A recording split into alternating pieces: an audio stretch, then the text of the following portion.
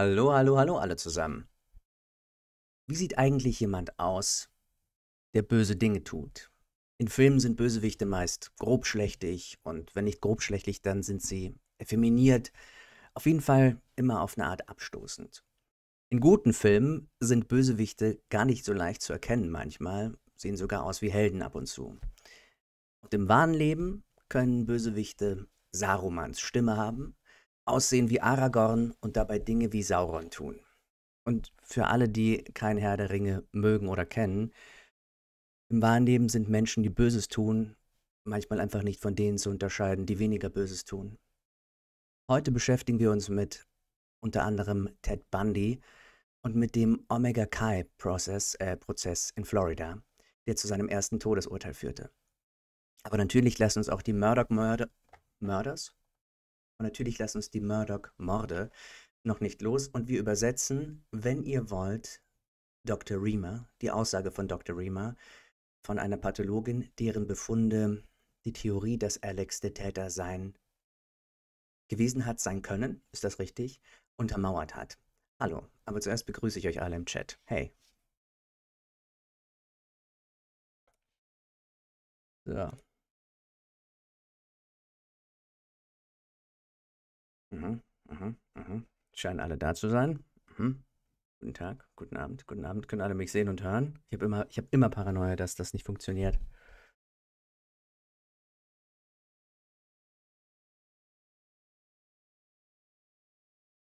Hallo alle. Abend, Abend, perfekt. Okay, okay, okay. Es läuft. Ja, wundervoll.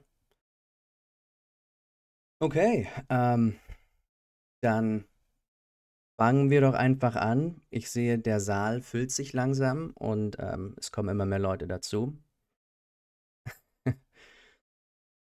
okay, Christine. Dann ähm, fangen wir doch einfach mal an. Und wir fangen ähm, an mit, äh, bevor wir zu den wichtig, wirklich wichtigen Dingen wie Gwyneth Paltrow kommen, ähm, nein, über Gwyneth Paltrow machen wir gar nicht so viel, fangen wir doch mal an, für alle, die Ted Bundy nicht kennen sollten, aus was für einem Grund auch immer, mit einer kleinen Einführung. Und ich hoffe sehr, dass die Einführung zumindest auch für die interessant sein wird, die totale True Crime Buffs und Nerds sind und ähm, denen ich mit Ted Bundy eigentlich nicht so richtig was Neues erzählen kann. Aber wir schauen mal, wer weiß. Und dann kommen wir zum, dann kommen wir zum Gerichtsprozess. Okay, viel Spaß.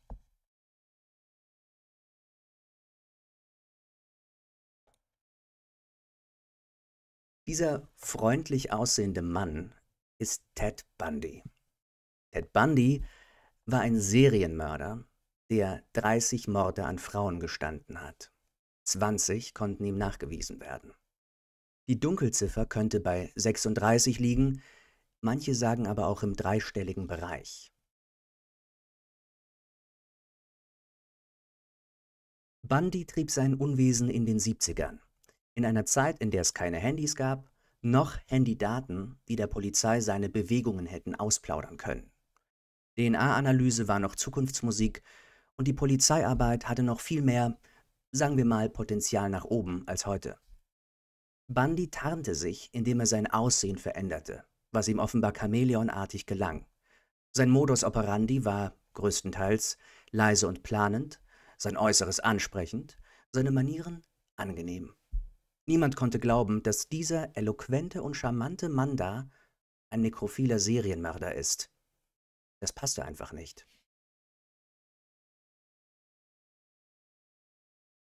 Dass er gefasst worden ist, ist lediglich einem Zufall zu verdanken. Ich zitiere hier Anne Rule, eine True Crime Autorin, die das Buch The Stranger Beside Me, der Fremde neben mir, verfasst hatte. Sie kannte Bundy persönlich und beschrieb ihn als nett, fürsorglich und empathisch.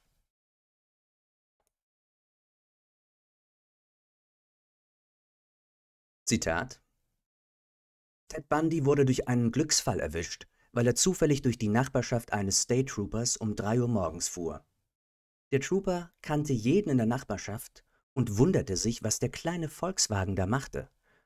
Er kam also gerade vom Dienst und parkte hinter Teds Auto.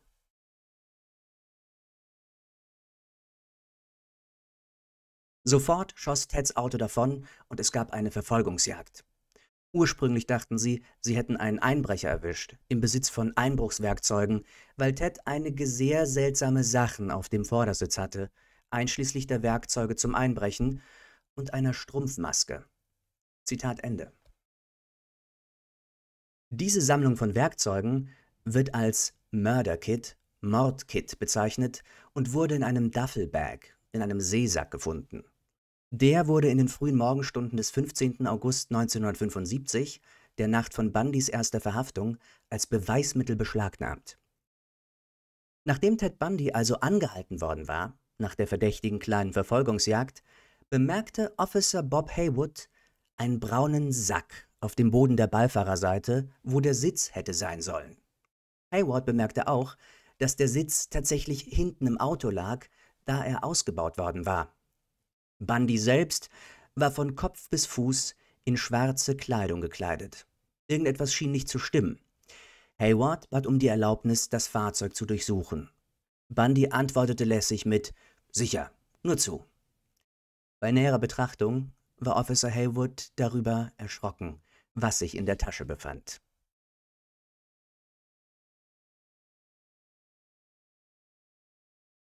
Ein Brecheisen, ein Eispickel, Stoffstreifen, ein Seil, eine Taschenlampe, eine Skimaske, eine selbstgebastelte Strumpfhosenmaske mit Augenlöchern, Handschuhe, Draht, Handschellen und eine Schachtel mit Müllsäcken der Marke Glad.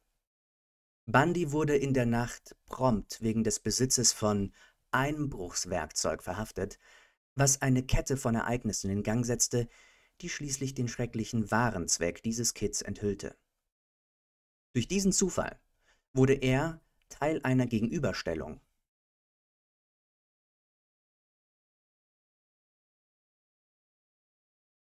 und schließlich als Entführer und möglicherweise Mörder von Mädchen in Utah identifiziert. Dreimal statt dreimal stand Ted Bundy vor Gericht. Das erste Mal in Utah 1976. Diesmal noch für Aggravated Kidnapping, schwere Entführung. Er floh aus der Bibliothek, in der er für seinen Fall recherchieren durfte, denn er wollte sich selbst repräsentieren. Er wurde aber nach acht Tagen wieder eingefangen. Nachdem man ihn nach Colorado ausgeliefert hatte, wo er sich diesmal wegen eines Mordes verantworten sollte, brach er dort am 30. Dezember 1977 aus dem Gefängnis aus. Über Chicago floh er nach Florida, nannte sich Chris Hagen, schlug sich mit kleinen Diebstahlen durch. Aber er war nicht in der Lage, seine mörderischen Impulse im Zaum zu halten und so griff er ein Sorority House an, eine Schwesternschaft der Florida State University. Der Angriff fand am 14. Januar 1978 statt. Ein Angriff, bei dem vier Studentinnen schweren Missbrauch erlitten zwei davon an ihren Verletzungen starben. Das waren die sogenannten Omega-Chi-Morde. Und aus dem Omega-Chi-Prozess stammt das erste Todesurteil gegen Bundy.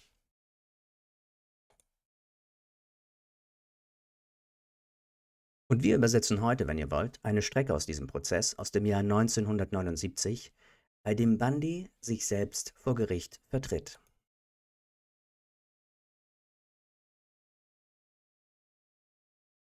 So, ich schaue mal in den Chat. Ah ja, ich sehe tatsächlich, äh, dass Leute ihn nicht, ähm, nicht kennen. Vielen Dank, Steffi. Alles klar, das heißt, man hört und man sieht mich. Alrighty then. Na dann, nehme ich einen Schluck aus dieser äh, unverhältnismäßig großen Tasse. Und dann ähm, schauen wir uns das Material an. Bevor wir uns das Material ansehen, ich habe reingeguckt. Ich weiß allerdings nicht, wie sehr das ins Detail geht, was die Taten angeht. Das heißt, ähm, vielleicht eine kleine Triggerwarnung an dieser Stelle und ähm, eine weitere ästhetische Triggerwarnung. Das Ding ist, ähm, ich meine, wenn, wenn, ich, wenn ich einen heutigen Prozess mache, dann ist das Bild schon manchmal unscharf. Ne? Dieses Material ist enorm unscharf. Das heißt, ihr seht jetzt so eine Art Farbbrei, aber man kann eindeutig Leute erkennen und man kann, kann vor allem Stimmen hören. Und die hören wir uns jetzt an. Darum habt ihr ein bisschen Mitleid, äh, nicht Mitleid, wie sagen wir, Verständnis für, ähm, für die Bildqualität.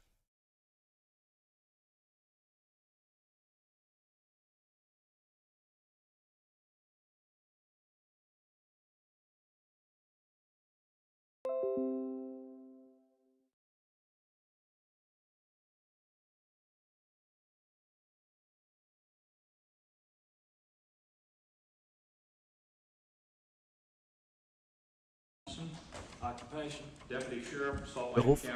Deputy Sheriff Salt Lake County. 14 years. Wie lange? 14 Jahre. Attention to August 16, Ich würde gerne 1975. On or about that day, did you auf den, Ihre Aufmerksamkeit auf den 16. Oktober 75 lenken. Not prior to that. No, sir. Sie haben Al Bundy äh, Ted Bundy getroffen? Ja. Haben Sie ihn schon davor gekannt? Nein. Wussten Sie damals und wussten Sie jetzt, was sein Beruf ist? Yes, I did. was? What was that? Ja. Utah. Er war ein ähm, Rechtsstudent. was 1974. Wissen Sie, was er 1974 beruflich gemacht hat? Ich glaube ebenfalls, dass er da Student, ähm, Jurastudent war.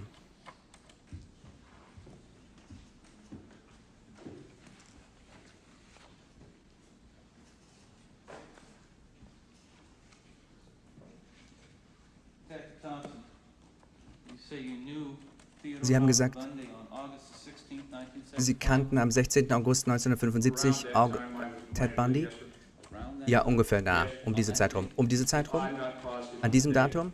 Ich weiß nicht, was das Datum angeht, da bin ich nicht hundertprozentig sicher. first Und was wäre denn Ihre beste Schätzung, was das angeht?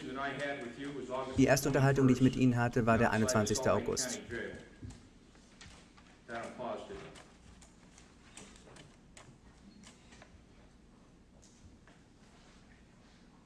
you ever met me prior to that? No, Haben. Sie mich jemals davor getroffen? Nein.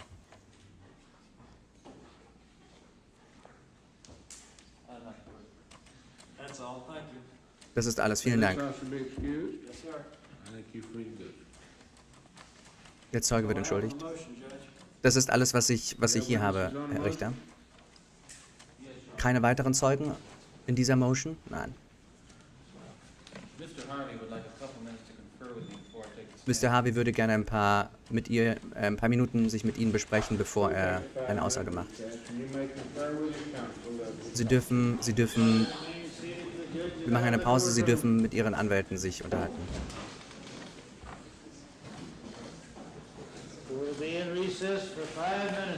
Wir machen eine fünfminütige Pause.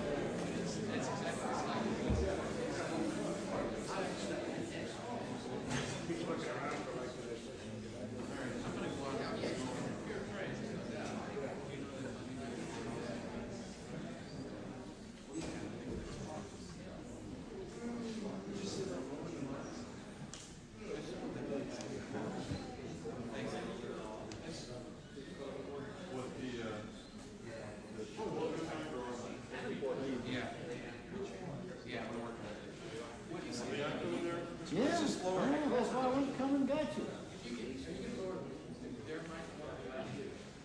Yeah, that's one of them. You tell him what you want, now, yeah, I, I I don't just know. want to blow it out of the shop. Makes a lot of noise. Is that better? Wir machen einen kurzen Break. Ich, ähm, wir machen einen kurzen Break. Ich muss etwas umstellen. Wie ihr seht, oh, da habe ich schon einen kleinen Spoiler für später eingebaut. Ich äh, pflanze mich, mir, mich hier mal selber ein, damit ihr mich seht. So haben wir es ja immer gemacht. Und es geht weiter. Es gab einen kleinen Schnitt. Bundy, what is the purpose of this hearing on? On the motion only, I understand. Please Bitte heben Sie Ihre rechte Hand. Sagen Sie sagen die Wahrheit, nichts, dass die Wahrheit zu Gott helfe? Ja.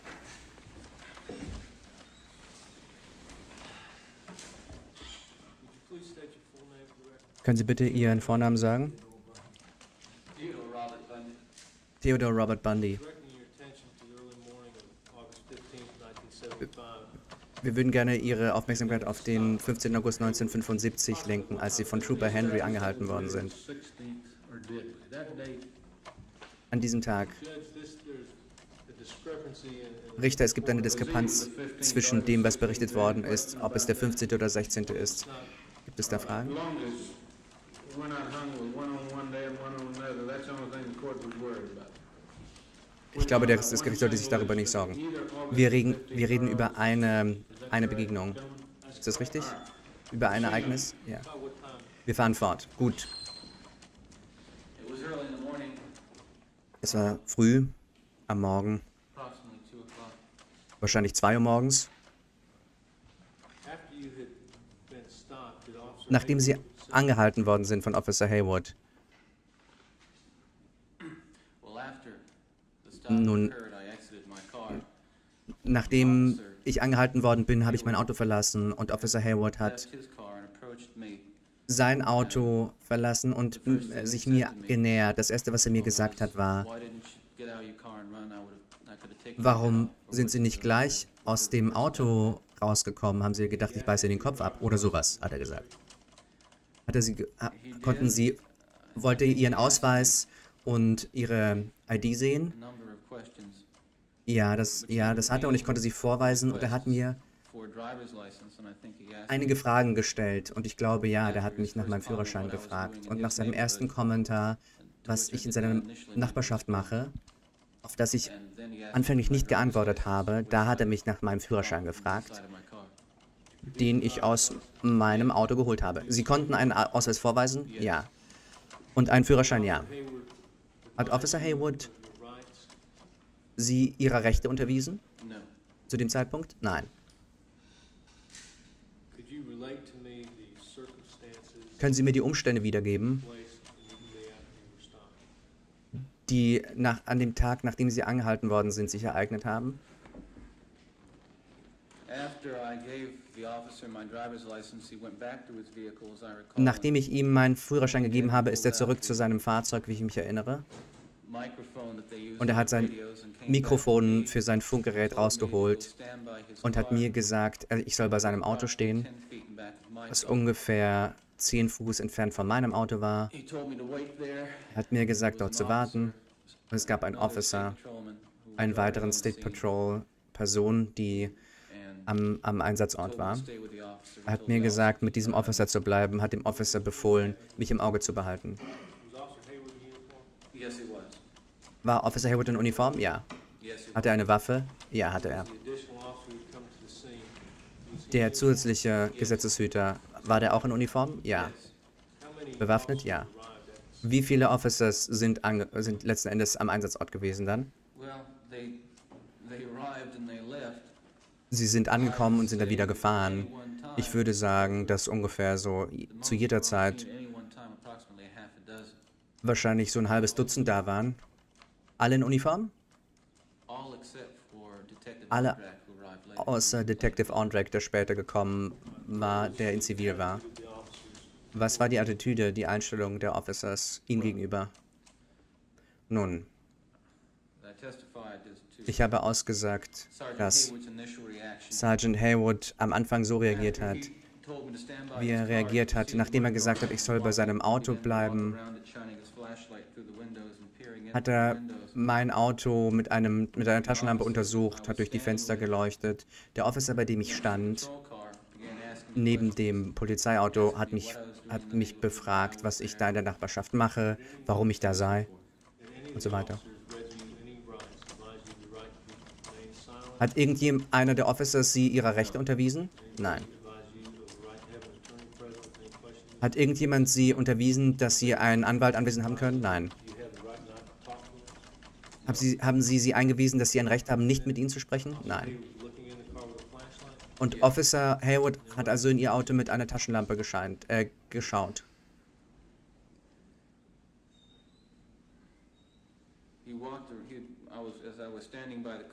Als ich also am Auto stand, ihn dabei beobachtet habe, den anderen Officers zugehört habe, wie er mir Fragen stellt, habe ich gesehen, wie er mit seiner Taschenlampe da in mein Auto leuchtet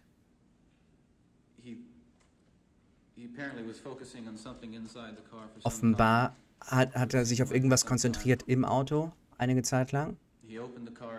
Er hat das Auto aufgemacht, die Autotür, ist ins Auto rein. Ich konnte nicht sehen, was er da gemacht hat. Er ist zurückgekommen und hat seine vorherigen Fragen wiederholt, was ich in der Nachbarschaft mache, warum ich da sei. Und ich erinnere mich, dass er in sein Polizeifunkgerät nochmal gesprochen hat. Hat Officer Haywood oder irgendeiner der anderen Officers ihre Erlaubnis gehabt, das Auto zu durchsuchen? Nein. Haben sie Erlaubnis gegeben? Nein. Had you ever been arrested? No. S- Waren sie verhaftet zu dem Zeitpunkt? Nein. Did anyone tell you that you had a right to refuse Hat irgendjemand ihnen gesagt, dass sie das Recht dazu haben, zu verweigern, dass sie ihr Auto zu untersuchen? Nein. Erinnern Sie, dass Sie gefragt worden sind, ob Sie nicht mal ins Auto blicken dürften? Erinnern Sie sich daran? Ich kann mich nicht erinnern. An eine Bitte, mein Auto zu durchsuchen. Und die Worte whether or not they asked me if they could look in my car is something I war don't nicht, ob Sie, ob Sie mal gucken dürfen oder nicht. Ich kann mich nicht erinnern, wie die das, ob Sie das gefragt haben. did the officers take to look at it? No.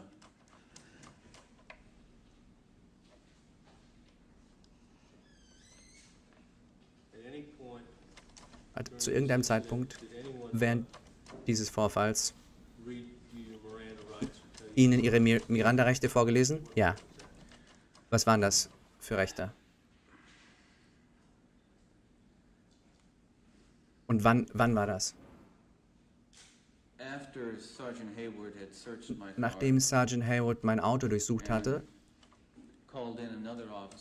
und einen anderen Officer gerufen hatte, der reinkommen sollte. Nachdem mein Auto von den anderen Officers ebenfalls gründlich durchsucht worden war, hat Detective er ist an mich car. rangetreten, dass er einige Gegenstände aus meinem Auto betrachten will. Und er hat mir gesagt, dass er einen Bef Durchsuchungsbefehl oder eine Beschwerde oder sowas erwirken will gegen, gegen mich, weil ich Einbruchswerkzeuge hätte. Und zu diesem Zeitpunkt hat Sergeant Haywood Another officer, I'm not oder irgendein anderer Officer, ich bin nicht sicher, mich zum ersten Mal durchsucht, mir Handschellen angelegt, mich in sein Fahrzeug getan, mir, mir die Rechte vorgelesen von so einer, aus so einer, von so einer kleinen Karte, die sie in der Konsole aufbewahren. Und die haben mich dann downtown gefahren, nachdem sie durchsucht worden sind. Ja. Yes.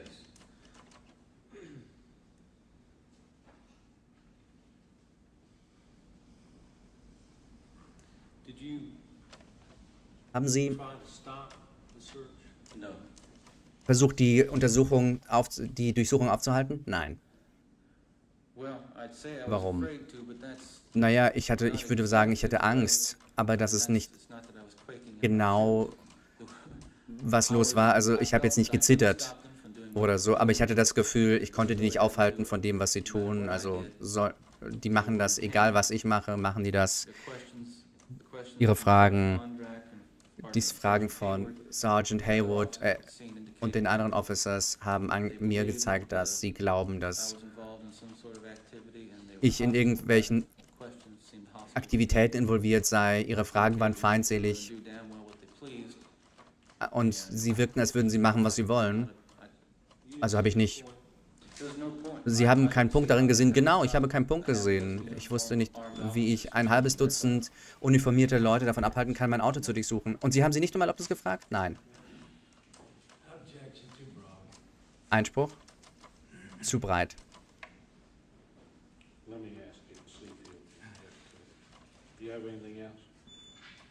Lassen Sie mich noch was fragen. Haben Sie noch irgendwas? Ich, na, ich glaube, das ist es ungefähr. That's not the first thing you told Hayward, though, when he Das ist nicht das Erste, was Sie Harewood gesagt haben, oder? Was Sie in der Nachbarschaft gemacht haben. Was? Entschuldigung? Er hat Sie gefragt, was Sie in der Nachbarschaft machen, und Sie haben es ihm nicht gesagt, was Sie da machen, oder? Ich hab- question. Ich habe ihm gesagt, ich habe ihm geantwortet. Ich verstehe. Aber wie haben Sie geantwortet? Wie ich mich erinnere, ich weiß nicht, wann das war. Die. Antwort war, dass ich in der Nachbarschaft war, um uh,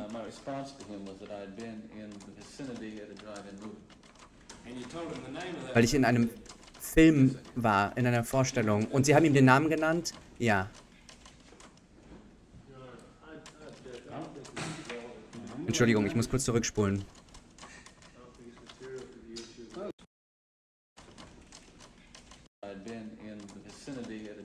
Ich war in der Nähe und ich war in einem Film. Und. Und Sie haben ihm den Namen des Films gesagt, oder? Aber Sie waren nicht in dem Film, oder? Euer are questions. Die Frage, ob er war, das sind Fragen, die das Gericht erlaubt. Nein, war ich nicht. Sie haben also gelogen. Und Sie haben understand your testimony correctly. Dem folgen lassen, wenn ich Ihre Aussage richtig verstehe, mit einer weiteren Geschichte. Einspruch, Euer Ehren. Bitte stellen Sie die Frage anders. Haben Sie Hayward noch irgendwas gesagt, nachdem Sie ihm gesagt haben, dass Sie in einem Drive-In-Film waren, in einem Drive-In-Movie? Sie erinnern Sie sich an Ihre Aussage in Utah, oder nicht? Ich bin nicht sicher, worauf Sie sich beziehen. Really, it's a broad Wirklich nicht. Es ist eine sehr breite Frage. Vielleicht können Sie mir ja helfen. Sie erinnern sich an Ihre Aussage in Utah, oder? Ich, erkenne, ich erinnere mich daran, dass ich ausgesagt habe. Erinnern Sie sich daran, an, an, diese, an, diese, an diese Geschichte mit dem Drive-In-Film? Ja. Erinnern Sie sich an, diese, an die Marihuana-Geschichte? Euer Ehreneinspruch. Es gibt einige Referenzen dazu. That been talked about by either the officers at this hearing or by testimony of the He's on cross-examination and the defendant. Ich meine, es ist ein Kreuzverhör, darum. Wir müssen, wir müssen, das ist eine Frage, die sich direkt auf Fakten bezieht, darum. You. Einspruch nicht standgegeben. Sie dürfen fortfahren. You. Soll ich Ihre Erinnerung ein bisschen auffrischen, Herr Bundy? You Ja, wenn Sie, wenn Sie mir, mir die Frage nochmal stellen könnten. Ich frage Sie, erinnern Sie sich an Ihre ursprüngliche Frage, ob Sie sich an Ihre Aussage in Utah erinnern? Wenn nicht, erfrische ich gerne Ihre Erinnerung. Vielleicht können Sie mich nochmal fragen, ich weiß nicht. testimony was. Ein bisschen schwierig für mich, Sie da, Ihnen da zu helfen. Mal sehen, ob das Ihre Erinnerung auffrischt. Erinnern Sie sich ausgesagt zu haben, dass am fraglichen Abend Sie Abendessen gegessen haben, Fernsehen geguckt haben und dann um 12.30 Uhr einen Freund besuchen wollten. Und Sie haben gemerkt, dass die Lichter aus sind und Sie nicht aufwecken wollten. Und darum sind Sie ein bisschen rumgefahren. Und dann waren Sie in der Nachbarschaft, wo Sie ein bisschen Marihuana rauchen wollten. Euer Ehren, Entschuldigung, aber, aber wenn er mir eine Frage stellt, würde ich einsprechen, wieder, würde ich Einspruch aufheben, weil er das zusammenfasst. Aber habe ich, habe ich Ihnen denn geholfen bei der Erfrischung der Erinnerung? Erinnern Sie sich daran? Erinnere ich mich an die Aussage? Offenbar tun Sie es ja. Sie haben ja, Sie haben ja dem, der, dem Gericht gesagt, es gab viele Antworten. Also ich würde ja sagen, aber ich erinnere mich nicht spezifisch, was ich ausgesagt habe. Aber generell kann ich mich assoziieren mit dem, was Sie gesagt haben in Utah. Ja. Spezifisch haben Sie in Utah doch gesagt vor Gericht, dass Sie, dass Sie den Rauch loswerden wollten in Ihrem Auto und darum die Verfolgungsjagd sich mit dem Officer geliefert haben. Ja, daran erinnere ich mich. Also zurück zu diesem Fall. Ist es nicht ein Fakt, dass Sie hier sehr viel ähm, Recherche reingelegt haben in speziell diesen Teil der Verhandlung? Ja, klar. So wie es ist, ja. Und Sie haben einige Fälle gefunden. Ich habe zu viele Fälle gefunden. Und der Punkt, über den wir sprechen, ist Consent to Search, Zustimmung zur Durchsuchung. Ja, das ist einer der Punkte, über den wir sprechen. Sind Sie vertraut mit dem, was die faktische Basis wäre für Consent of Search, damit das gestrichen wird? Wissen Sie, was die Basis ist? Yes, I'm familiar with it. I am now. Ja. I wasn't then. Do you- Bin ich jetzt? Was war es denn damals? Sie- Sie erinnern sich an Ihre Aussage. Ich glaube, Sie-. Ich glaube, meine Aussage hier und in Utah ist essentiell dieselbe, oder? Haben Sie noch irgendwas? Nein, Sir. Any further testimony on the motion? Ich glaube, ich muss noch im District anrufen für eine weitere ähm, Aussage. Sergeant, I guess he is now.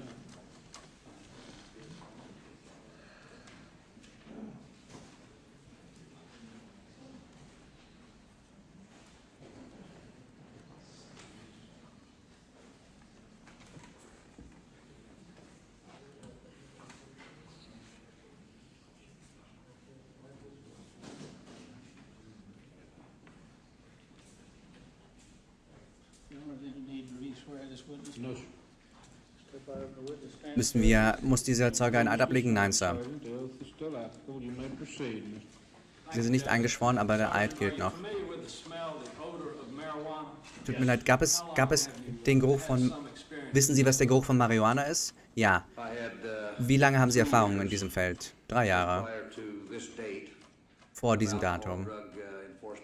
Was Alkohol und drivers in the Drogenverfolgung city of Utah. Ähm, Verfolgung angeht. in der Zeit waren Sie in Herr Bundys Auto an dem Abend. Haben Sie irgendwann Marihuana gerochen? Nein, Sir, habe ich nicht. Haben Sie zu irgendeinem Zeitpunkt während Ihrer Suche im Auto oder um das Auto rum,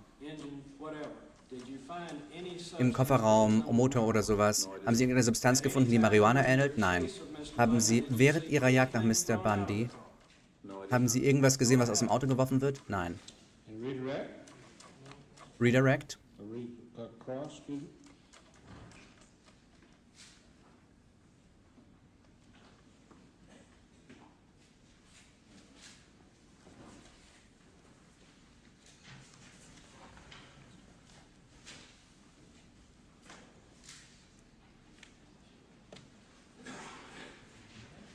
Your Honor, we, we approach the bench. Yes, sir. Dürfen wir bitte rantreten?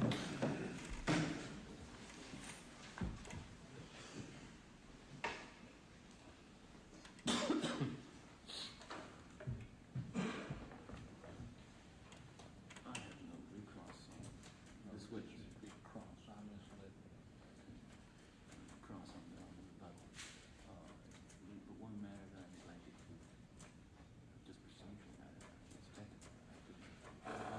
His report into evidence for use here. His, his police report says, that's it. I don't care, no problem, that's still.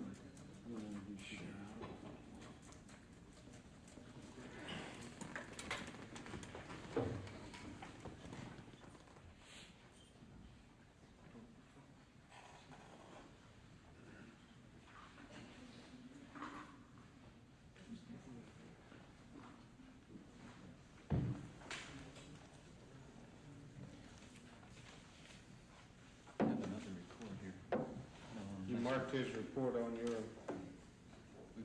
Wo ist denn, wo ist denn der Report? Sie haben das markiert. Das, das ist er.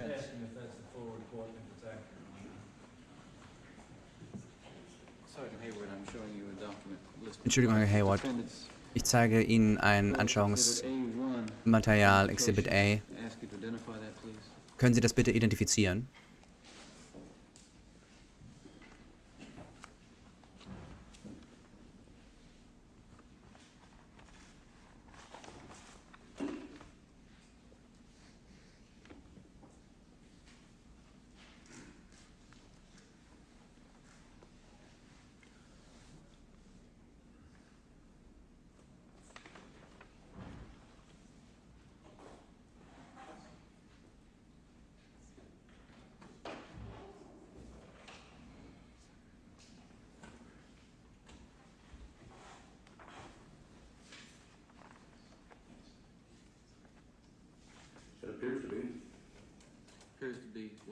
Das scheint zu sein. Was scheint das zu sein? Dasselbe Dokument, das ich hier habe. Ihr Report, Incident Report, Ihr Bericht August 16th, über 1978. das an über diese Durchsuchung, die passiert ist, You received the 1975. Ich würde das gerne in die Beweise mit aufnehmen. Kein Einspruch.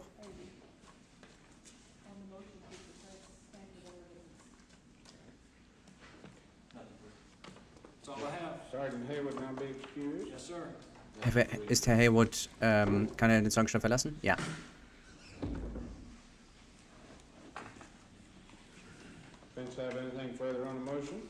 Haben Sie noch irgendwas in dieser Motion zu sagen? Nein, euer sir. Haben Sie ein Rebuttal anzubieten? State? Nein. Motion beendet. Uh, Ich ähm, hätte gerne Ihr Argument der Motion, das zu unterdrücken von beiden Seiten. State darf zuerst argumentieren, bitte.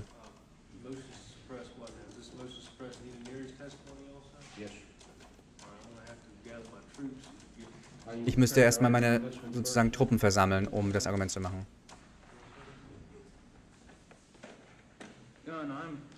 Euer Ehren. Ich bin nicht vorbereitet dazu zu argumentieren generalities. I have a great deal of case material. as I mit so Generalitäten. Ich habe Fallmaterial, ich hatte aber keinen Zutritt zu einer Bibliothek. Ich kann nur generell argumentieren. of- All right, I'm gonna rule on both of them till in the morning anyway. I want to hear the argument on both of them. Gut, ich will, ich will von beiden Seiten das Argument hören. Es gibt keine Anhörung mehr von Aussagen.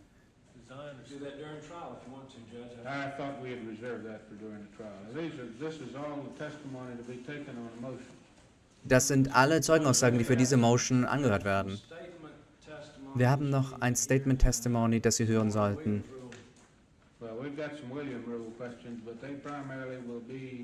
Aber primär wird das- keine. Wir haben noch kurze, kurze Beweis, ähm, kurze Aussagen. Na gut, was ist denn Ihr Argument chance to get Mr. zu äh, unterdrücken?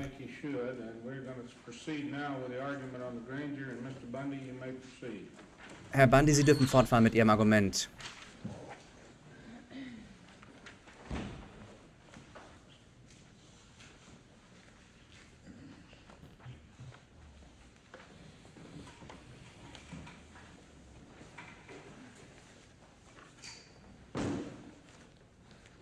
Your Honor, there's a lot of cases in that box. Euer Ehren, All es deal gibt viele. Fälle in dieser Box und die haben alle zu tun mit Consent Search, mit Zustimmung zur Durchsuchung. Ich habe einige von Ihnen äh, gelesen von verschiedenen Jurisdiktionen. Ich kann das nur generell machen, weil ich nicht, weil ich keine Möglichkeit hatte, meine Recherche zu beenden, was Florida angeht, obwohl ich natürlich mit den Parametern vertraut bin von Consent Search, wie sie hier in ähm, Florida existiert, durch den Supreme Court und andere Federal Courts. Aber ungefähr, ungefähr stimmen wir ja überein. Sie haben ja bestimmt. Sie haben ja bestimmt diesen bestimmten Fall äh, gelesen und darum können wir von da anfangen. Also- Bevor ich den Bustamante-Fall mich auf ihn beziehe, finde ich es wichtig, dass das Gericht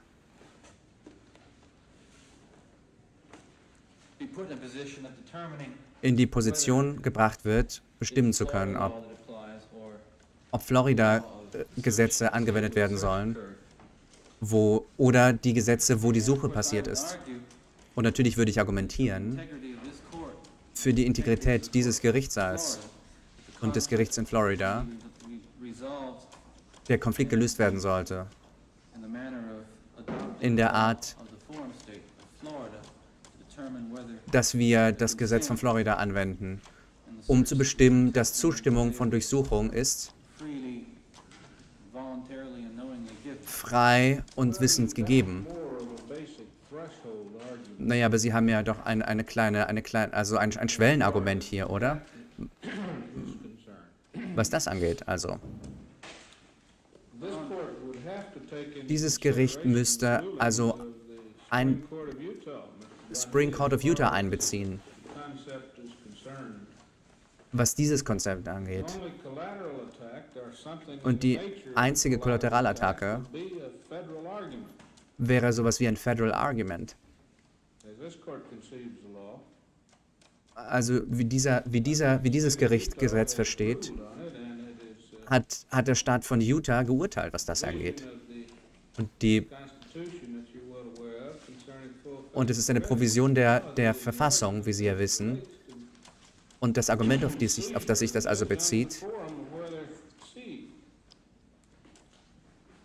Bezie- basiert auf das, wo es stattfindet. be on the basis Aber die einzige kollaterale Herangehensweise wäre es, wenn es ein bestimmtes Federal Requirement gäbe, das dem Utah Court entgangen wäre. Aber, die Auf aber die Aufzeichnungen sind ja sehr klar, dass alle drei Argumente offen sind. Kürze, Kürze war nie eine Hauptnote dieser Verhandlung und wird es wahrscheinlich nie sein. Darum dürfen Sie alles sagen, was Sie wollen. Also ich denke und ich werde mein Bestes tun, ähm, das Gericht auszustatten mit, mit Problemen, die bei der Suche stattgefunden haben, die nicht direkt ihre Aufmerksamkeit äh, bekommen haben. dass, diese, dass, dass, dass der Florida Supreme Court, äh, Utah Supreme Court diese Probleme nicht wahrgenommen hat. Jedoch that the court has read the verstehe ich, dass, dass dieses Gericht die Supreme Court Opin Opinions gelesen hat, die Meinung des Supreme Courts in Utah, und ihre Aufmerksamkeit lenken auf das, was Chief Justice Allen gefunden hat. Chief Justice Allen hat nicht gefunden, dass die Suche legal. War.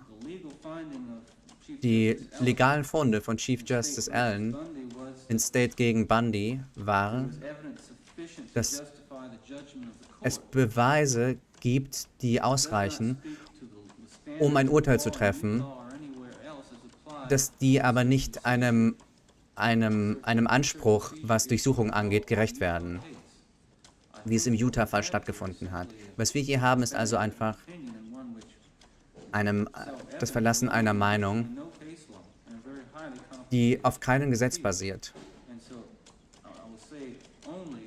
Und darum würde ich sagen, nur, ich glaube nicht, dass die Meinung vom Utah Supreme Court zu lesen in irgendeiner Art überzeugend ist, um die Legalität zu bestimmen oder Illegalität zu bestimmen von dieser Durchsuchung und was diese Motion angeht. Ich gehe mal zu dem Amadi-Case, weil so oft wird dieser zitiert, weil es so, so wichtig ist, Zustimmung einzuholen in solchen Fällen. Und ich glaube, dass dieses Gericht zuerst anerkennen muss, dass in diesem Amadi-Case der United States Supreme Court sehr eng abgegrenzt hat, diese Dinge, und festgestellt hat, its ruling on whether an das necessary Urteil, ob eine, ein Hinweis nötig ist, mhm. Entschuldigung, wo, wo, wo ist das? Sie ist, sie ist auf der anderen Seite. Hat sie Fotos dabei? Ich weiß es nicht, Sie müssen sie fragen. Vielleicht hat sie Fotos dabei. Kann diese junge Lady den Ge- Zeugenstand verlassen? to us, if you can get them for us, Mr. Simpson. Also vielleicht, wenn es, wenn es Vorteile bringt, können Sie ja die Fotos besorgen. Kopien, also die Kopien wären noch gut.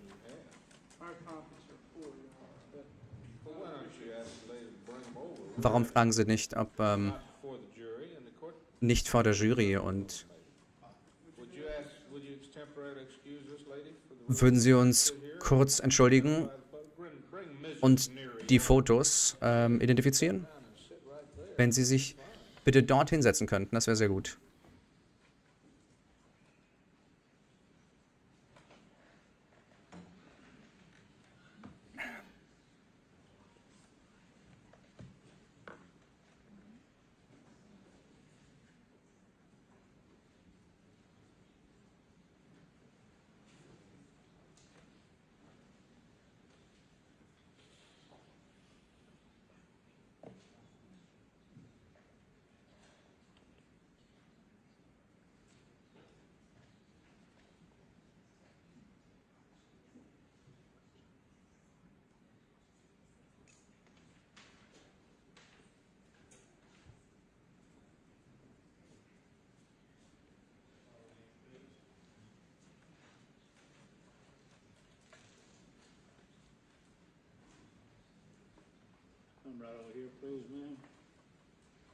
Hand. heben Sie Ihre rechte Hand. Schwören Sie, dass Ihre Aussagen die Wahrheit sind, so wein Gott helfe? Ja. Können Sie bitte Ihren vollen Namen sagen? Entschuldigung, ich muss zurückspulen, ich habe Ihren Namen verpasst. Können Sie bitte Ihren vollen... Alright. And you're the mother of Hm? Name unverständlich. Sind Sie die Mutter dieser Frau? Ja. Haben Sie Zeitungsausschnitte gesammelt, was diesen Fall angeht? Das habe ich. Haben Sie sie dabei? Ja. Können wir sie sehen?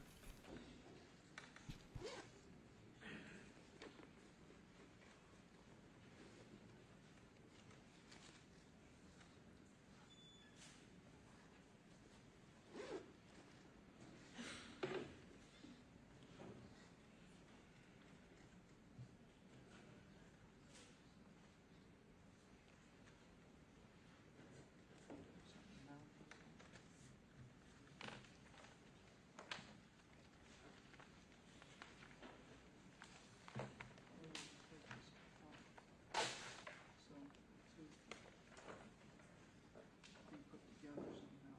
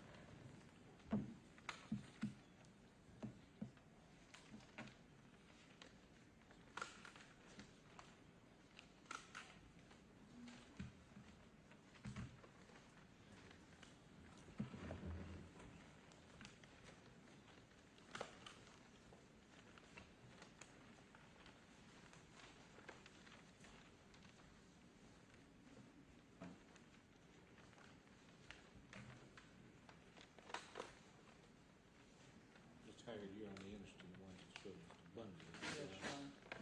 Not That'd be concerned fine. with the other details. Other than to show reading content, Your Honor.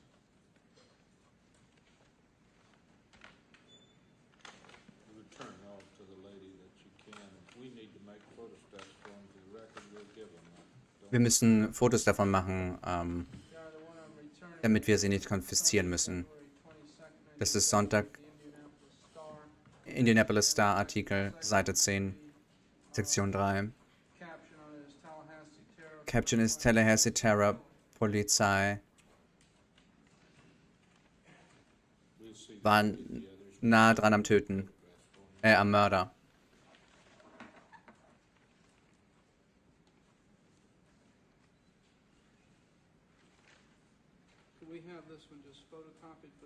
Können wir das bitte fotokopiert haben? Ja. Ja, ich habe gesagt, wir können. Gut.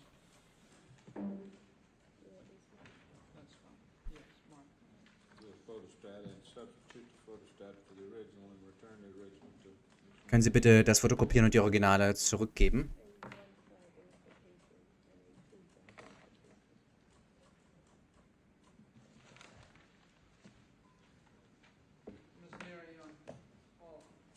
Miss Leary, clerk is marking the other exhibits, I'll ask you and ich würde Sie gerne fragen, ich würde Ihnen zeigen, was markiert ist als Anschauungsobjekt, ob Sie erkennen können, was das für ein Zeitungsausschnitt ist. Ja. Haben Sie das ausgeschnitten? Aus dem Sentinel Star? Nein, habe ich nicht. Wer hat das ausgeschnitten? Ich weiß es nicht. Did, Sagen Sie bitte, seien Sie nicht aufgebracht, okay? Ich sehe, dass Sie zittern. Entspannen Sie sich. Haben Sie das? Ihrer Tochter Nita gezeigt? Ihre Tochter ist wahrscheinlich die beste Zeugin, was das angeht, oder? Ja. Ich glaube nicht, dass wir das brauchen.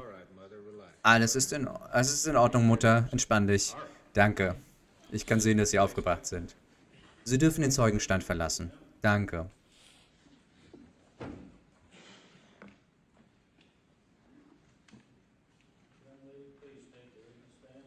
Junge Dame, Sie könnten bitte, Sie können bitte wieder den Zeugenstand betreten.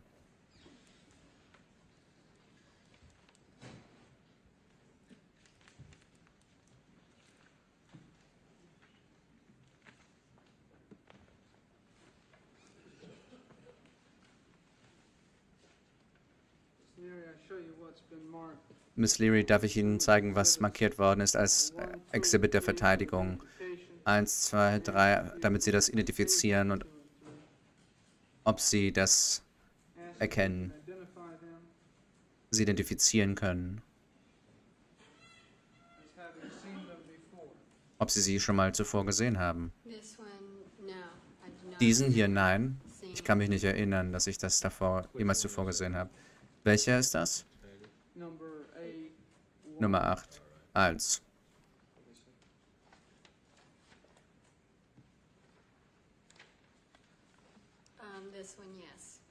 the series. I'm Diesen, talking ja. about. Das ist eine Serie, über die ich gesprochen habe, wo jeder einzelne unterschiedlich aussieht. A2. 8-2, sagt die Nummer. A3. Und 8-3? I don't remember. It's, it's Ich erinnere mich nicht. Das sieht aus wie dieselbe Serie da. Ich habe es vielleicht gesehen. Ich erinnere mich nicht so richtig. Und ich habe diesen hier vielleicht gesehen, aber das sind dieselben Bilder wie da. Hat Ihre Mutter irgendwelche anderen Bilder gehabt? know. Ich weiß es nicht.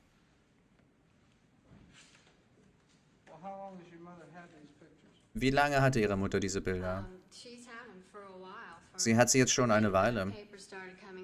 Als die Zeitungen rausgekommen sind und sie hatte sie in einem Umschlag aufbewahrt. Und ich habe eine Serie von sechs Bildern gesehen. Mir wurde geraten, mir nicht noch mehr Bilder in den Zeitungen anzusehen oder im Fernsehen. Also habe ich mich ferngehalten von ihnen.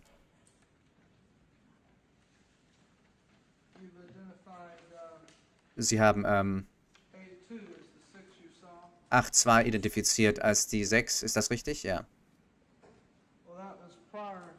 Das war ja vor. Prior to you being advised. 8-2 war ja bevor sie angewiesen worden sind. Oder? Ja.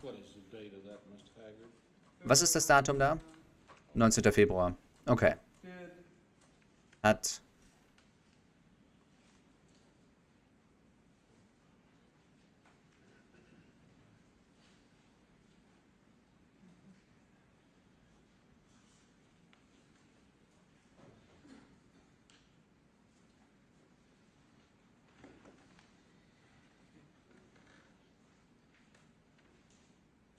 Did you see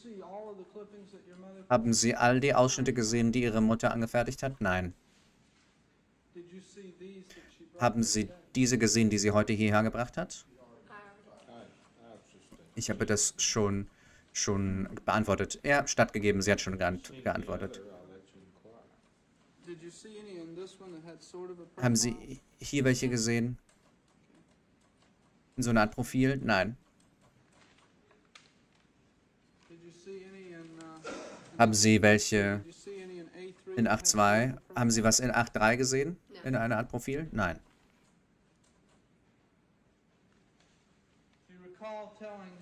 Erinnern Sie sich, wie Sie gesagt haben, Bodiford gegenüber Detective Bodiford, dass Sie s- 14th?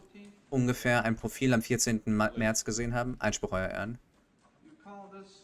Erinnern Sie sich Bodiford? an diese Frage von Mr. Bodifar? Haben Sie ihn erkannt? Antwort? Ich kann Ihnen nicht garantieren, ich habe kein gutes Profil gesehen. Aber ähm, sie hat mir einfach ein Bild gezeigt, sie, ihre Mutter, zwei vor zwei Tagen, von einer Art Profil. Erinnern Sie sich daran? Vage. Ist das die Art von Profil, auf die sich Sie sich bezogen haben am Telefon? Ich erinnere mich nicht an das Bild gerade.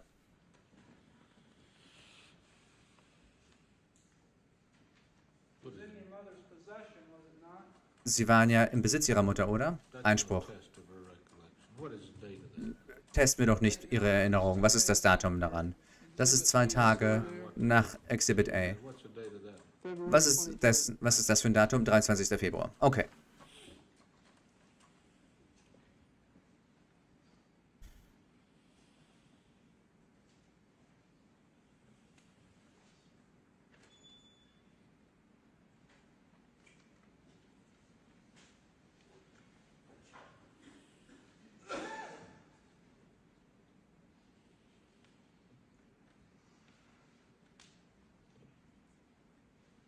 You recall your conversation? Erinnern Sie sich an die Unterhaltung?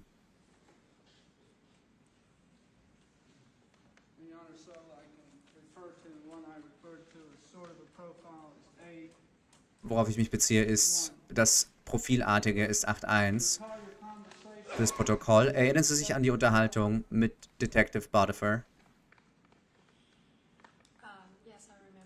Ja, ich erinnere mich, dass ich mich mit ihm unterhalten habe. What did he tell you about having Was hat er Ihnen gesagt darüber, dass er jemanden im Gefängnis habe? Einspruch. Finden Sie raus, was sie aus der Unterhaltung noch weiß. Was erinnern Sie sich? Woran erinnern Sie sich aus, äh, ähm, der, aus der Unterhaltung? Die Hauptsache, an die ich mich erinnere, schauen Sie sich nicht mehr Zeitungsausschnitte an. Haben Sie Ihnen gesagt, warum? Damit ich positiv identifizieren kann und die Zeitungsausschnitte mich anders überzeugen könnten.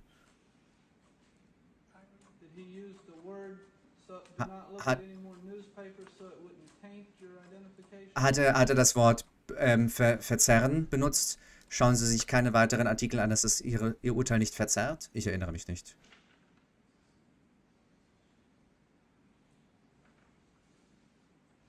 Do you know whether he discussed that with your mother?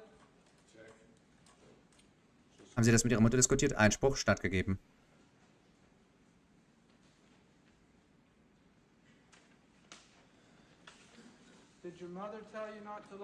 Hat Ihre Mutter Ihnen gesagt, sich nicht mehr? Sachen in der Zeitung anzusehen, weil Detective Bodifer Ihnen das gesagt hat? Einspruch stattgegeben.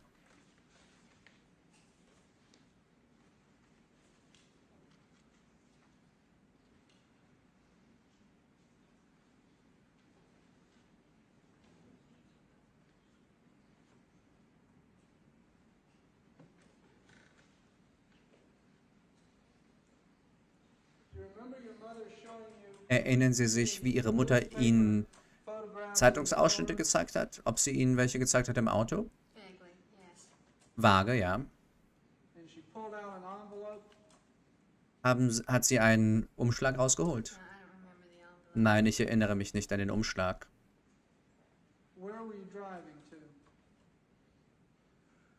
Wohin fahren wir? Wohin fuhren Sie? Ich glaube, wir sind nach Hause gefahren. Wir waren downtown und ähm, fuhren gerade nach Hause. Haben Sie ihr gesagt, es sieht aus wie die Nase, dass das immer noch kein gutes Profil gewesen sei? Einspruch stattgegeben. Haben Sie einen Kommentar gemacht, was es ein, ob es ein gutes Profil angeht oder ist oder nicht angeht? Einspruch. Es gab, sie hat ja gesagt, es gab es schon, es gab es ja. Es gibt keine Etablierung von diesem Statement. Das ist das Problem. Sie waren doch im Auto und ihre Mutter hat ihnen doch Fotos gezeigt, oder? Gezeigt, oder? Ja. Ein Foto. Oder einen Ausschnitt. Ich erinnere mich nicht, was es war. Ein Foto. Euer Ehren, sagen Sie Foto oder, oder Ausschnitt? Ausschnitt. War es ein Ausschnitt mit einem Foto? Ja. Und war es ein Teilprofil? Ich erinnere mich nicht an das Bild. Es tut mir leid, ich erinnere mich nicht. Erinnern Sie sich daran, irgendeinen Kommentar gemacht zu haben über die Nase? Nein, nicht spezifisch über die Nase. Haben Sie einen Kommentar gemacht, ob es ein gutes Profil war oder nicht? Nein, ich erinnere mich nicht. Ich erinnere mich. Woran ich mich erinnere ist, dass, dass ich müde war, dass ich es nicht sehen will. Ich wollte kein Urteil fällen darüber.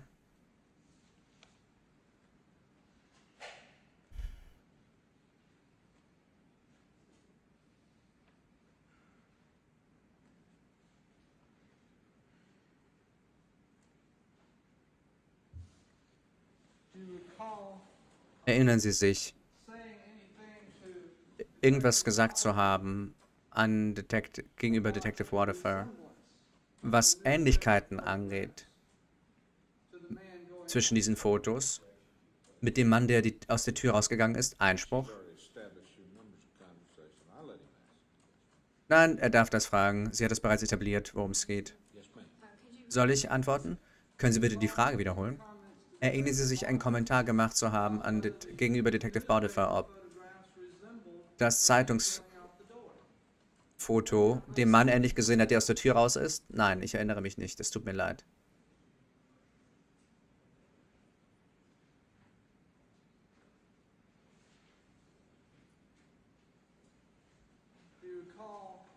Erinnern Sie sich an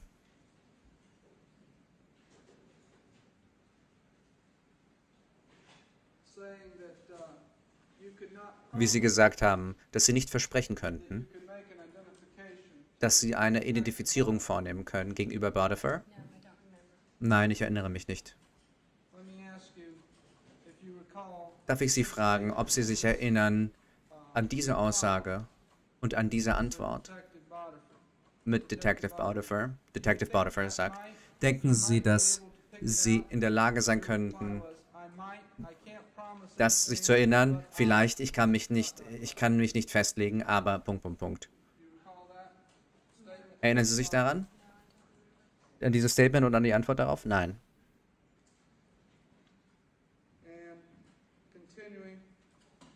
Und fortführend bei Mr. were Was ist, wenn Sie ein Line-up sehen würden, eine Gegenüberstellung? Und Sie haben geantwortet, nun, ich wiederhole mich, ich könnte nichts versprechen, aber vielleicht, Punkt, Punkt, Punkt. Erinnern Sie sich daran? Nein. Bitte? Nein. Können Sie nochmal antworten? Ich weiß, ich, es tut mir leid, ich, ich hasse, ich hasse irgendwas zu versprechen, ich kann nicht. Erinnern Sie sich daran? Wie oft wollen Sie die Zeuge noch fragen? So read out of context, make your objection timely. Machen Sie doch Ihre, Ihren Einspruch ähm, zeitnah.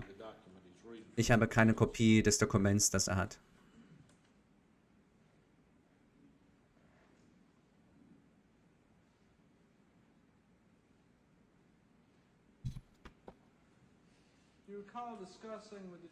Erinnern Sie sich mit Detective Bonifer diskutiert zu haben, was ein teilweise Prof ein, ein teilhaftiges Profil angeht. Einspruch, das haben wir schon. stattgegeben. Bodifer Erinnern Sie sich in dieser Antwort an dieses Statement von Detective Bonifer? Richtig, aber die Bilder, die Sie bisher gesehen haben, die, die wir haben, Ihre Nase ist ein bisschen, seine Nase ist ein bisschen rüber. Aber das ähnelt ja mehr als alle anderen, oder? Aber die anderen war, das, da war es schwer, weil da gab es irgendwie sechs verschiedene Bilder von ihm, alle verschieden, verstehen Sie? Erinnern Sie sich an diese Diskussion? Nein.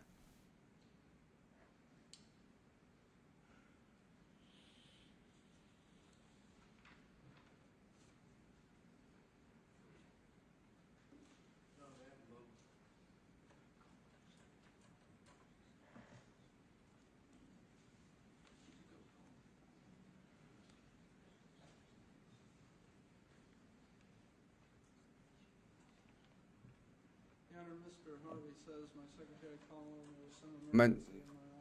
Sekretär sagt, es gibt einen Notfall in meinem Office.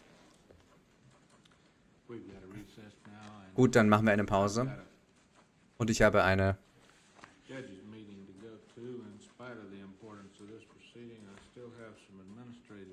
Ich muss ein paar administrative Dinge erledigen, trotz der Wichtigkeit diesen, dieses Falls. Der. Grund-. Wir machen jetzt eine Pause bis zwei. Der Richter verlässt den Saal.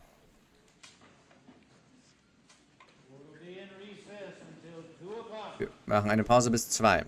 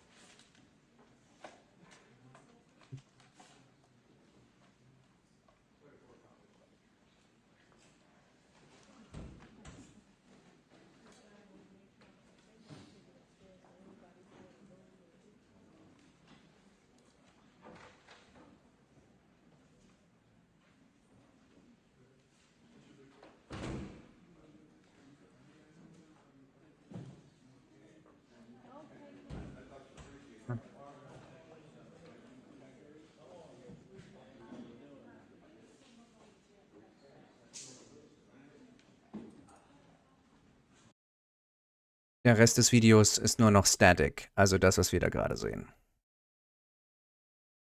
Das war ein Einblick in einen, in eine so Mischung aus verschiedenen Tagen. Wir haben gesehen, ähm, Ted Bundy hat sein, den ich anfangs Al genannt habe in einem Satz, weil wir ein, Al, weil wir ein bei schrecklich nette Familie und einen im Chat haben. Ähm, jedenfalls, das waren verschiedene Tage und das waren verschiedene Aussagen, darum war das ein bisschen verwirrend.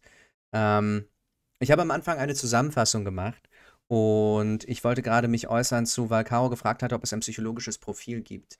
Es gibt, ähm, ich glaube, es gibt mehrere psychologische Profile, was ihn angeht. Es gibt vor allem aber auch eine, wie sage ich, ähm, ich habe gefunden, es gibt ein Archiv mit Gegen, also mit, ähm, mit Material über ihn. Also es gibt verschiedene Archive. Ich habe ein Archiv hinter einer Paywall entdeckt, die ich aber noch nicht. Ich habe mir vorgenommen, wenn es sozusagen, wenn ihr Interesse daran habt, kann ich dieses Material erwerben. Das kostet irgendwie, keine Ahnung, 12 Dollar oder so. Und dann übersetze ich es euch und dann gehen wir das Material durch, was Ted Bundy angeht und tauchen dann noch ein bisschen tiefer ein. Aber nur, wenn euch das interessiert, sozusagen. Das ist, das ist, das ist meine Frage. Wenn ihr Lust habt, ich ähm, ziehe mir dieses Material, das ist, wie gesagt, hinter einer Paywall versteckt. Ich gucke mal, wie das mit dem Copyright ist, aber auf jeden Fall kann ich das aufarbeiten. Und ich bin sicher, ich bin sicher, dass es ein, ähm, ein auf jeden Fall psychologische Äußerungen davon äh, über ihn gibt, sozusagen. Also da gibt es noch mehr Details zum Modus operandi. Ähm, es gibt Details dazu, was er genau wann gemacht hat. Ähm, es gibt eine, es gibt eine bestimmte Übersicht von Daten. Das Sinfonie für dieses Sinfonie für dieses Geld ganz genau, ganz genau. Okay, okay. Sinfonie hat es für uns alle entschieden. Gute Besserung übrigens. Ähm, ich hole diese Bundy-Files und ähm, wir ziehen uns, wenn, wenn ihr wollt, ich hätte richtig Lust, ähm, okay, auswerten. So. Ähm, ihr, ihr, macht, ihr macht euren Content. Sinfonie hat gerade den Content gemacht. Ich habe gerade, ich habe nicht gerade, sondern ich habe in der Recherche auf diesen, auf diese, auf den, auf die Einführung am Anfang, damit wir alle einen Kontext haben, worum es eigentlich geht, ähm, habe ich eine, habe ich Neben Aufzeichnungen vom FBI, die frei zugänglich sind, habe ich noch ein Ar Archiv gefunden, wo Personen hinter Paywalls, die teilweise hinter Patreon sind, aber auch die teilweise einfach nur, ähm, wo käuflich erwerbbar, irgendwie so 300 Megabyte an Daten über Ted Bundy sind. Und ähm, wenn ihr offenbar habt ihr Lust. Die werde ich wohl durchackern müssen jetzt. Vielen Dank, Sinfonie. Und ähm, wir ziehen uns das rein gemeinsam und gehen richtig in die Tiefe, was Ted Bundy angeht. Also ich bin sicher, viele kennen das schon, vielen hängt das zum Hals raus. Aber ähm, ich glaube, bestimmte Dokumente kennen noch nicht alle. Ich habe zum Beispiel noch was gefunden über ihn.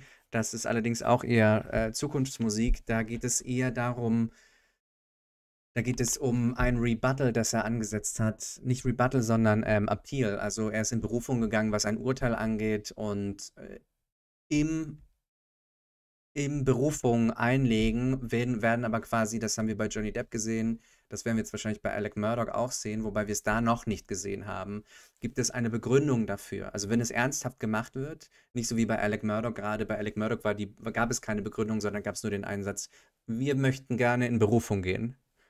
Punkt. Aber bei Johnny Depp zum Beispiel und ähm, Amber Heard hat Amber Heard wirklich, also da wird nochmal aufgelistet, was passiert ist und dann wird sozusagen der Grund angegeben, warum Berufung eingelegt wird. Und das gibt es halt auch. Also zu sagen, das ist, wenn wir wirklich nerdig noch weiter uns mit einer konkreten Gerichtsverhandlung beschäftigen wollen.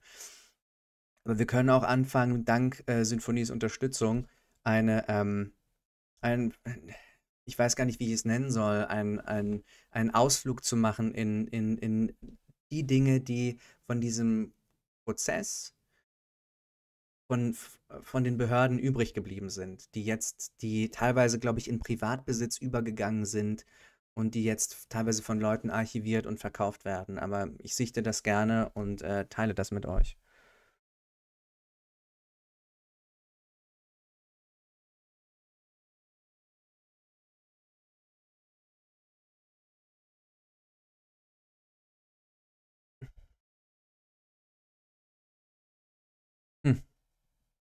Ja, spannend. Ähm, ja, so viel dazu, so viel zu Ted Bundy. Ähm, kurze Eindrücke von mir. Also, wir haben ja gerade, ähm, abgesehen davon, dass es sauschwer war, tontechnisch, habe ich, ich habe angefangen, so einen inneren Widerstand zu spüren. Ähm, was ich ja normalerweise vermeiden will, weil ich eigentlich nur übersetzen will und nicht die Leute vorverurteilen will. Aber in diesem Fall wissen wir ja alle, was diese Person gemacht hat. Ich weiß, es gibt einige hier, die haben ganz, ähm, ich will eine kleine Empfehlung aussprechen. Und zwar, es, ich, ich weiß, unter euch gibt es Leute, die zum Beispiel gar kein ZDF mögen oder gar kein Netflix mögen. Und ich verstehe das auch, aber die versuche ich auch neutral zu bewerten. Das sind eigentlich nur Quellen von Content. Und auf Netflix gibt es eine hervorragende Dokumentation über Ted Bundy, die heißt die Ted Bundy Tapes. Und in den Ted Bundy Tapes, das ist eine Unterhaltung, die ein Reporter mit Ted Bundy geführt hat. Und dieser, Re ich glaube, es war ein Reporter. Und dieser Reporter hat es geschafft, sich in Ted Bundys Kopf zu schleichen und mit Ted Bundy so zu reden, als wäre die Person, die die Taten, die Ted Bundy verübt hat, eine dritte Person verübt hat. Und ihm dann gesagt hat, naja gut, aber wenn Sie sich jetzt vorstellen würden, wenn das jemand macht, wie würde das denn so jemand, also wie würde man das denn machen dann? Und dann, und dann fängt, und dann, und da, da blockt Ted Bundy nicht, sondern da fängt er an, sozusagen so Details auszuplaudern und seine Gedanken sozusagen zu ähm, auszubreiten. Und der, der kriegt ihn bei diesem, der kriegt ihn an dieser, an dieser na narzisstischen Ader, die er hat, und er kriegt ihn bei seinem Versuch, ähm, oder bei seinem, bei seinem, bei seiner psychologischen Eigenart, dass er sich so massiv entkoppelt hat von den Taten. Also wir sehen eine Person, die, die vollkommen in der Lage ist, sich sozusagen, sich von den Dingen, die sie getan hat, einfach zu entfernen. Und er nutzt diese Entfernung aus, um ihm sozusagen Dinge zu entlocken, die ihm auf anderem Wege nicht entlockt werden können. Und das ist massiv spannend. Das gibt's auch auch auf Deutsch.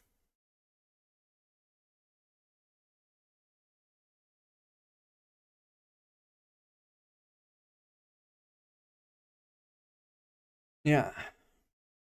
Es ist super spannend. Also das ist, ähm, und das ist, also ich habe das, ich habe Sachen, die mich kriegen, ja. Sachen, die mich kriegen. Liebesgeschichten, Tiere, wenn, wenn es, wenn es Leuten sozusagen, wenn, wenn Leute was mögen und, äh, also so in Filmen und in Stories und so weiter und so fort, das kriegt mich ähm, emotional.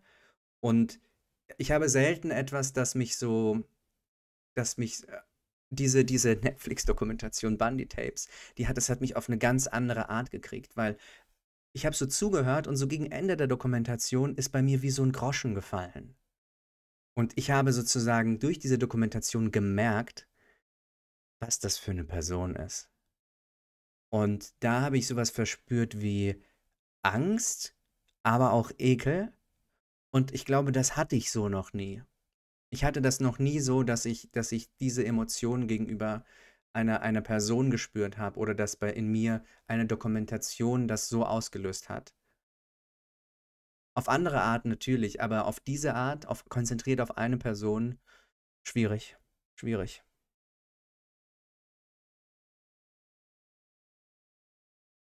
Genau, das heißt, ähm, auf Netflix heißt das die, die, die Ted Bundy Tapes. Jedenfalls, ich mache jetzt ein kleines Päuschen und äh, trinke ein Glas Tomatensaft oder so. Und ähm, wir sagen, wir machen 10 Minuten Pause. Dann, äh, wir lüften mal unser Gehirn und unsere Seelen durch, trocknen uns ab und steigen in einen anderen Sumpf, nämlich ähm, in den Sumpf der Murdoch Murders wieder. Und dazwischen machen wir eine kleine Après-Ski, eine Middle-Ski-Party mit Gwyneth Paltrow, aber da sage ich auch wirklich nur ein, zwei Sätze zu. So ja, bis gleich. Fahrstuhlmusik, yay!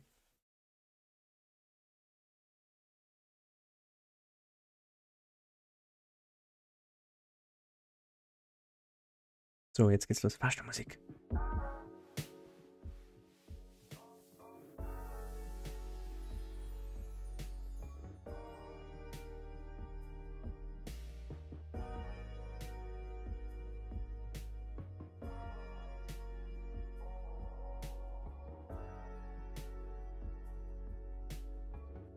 Zehn Minuten, zehn Minuten Pause.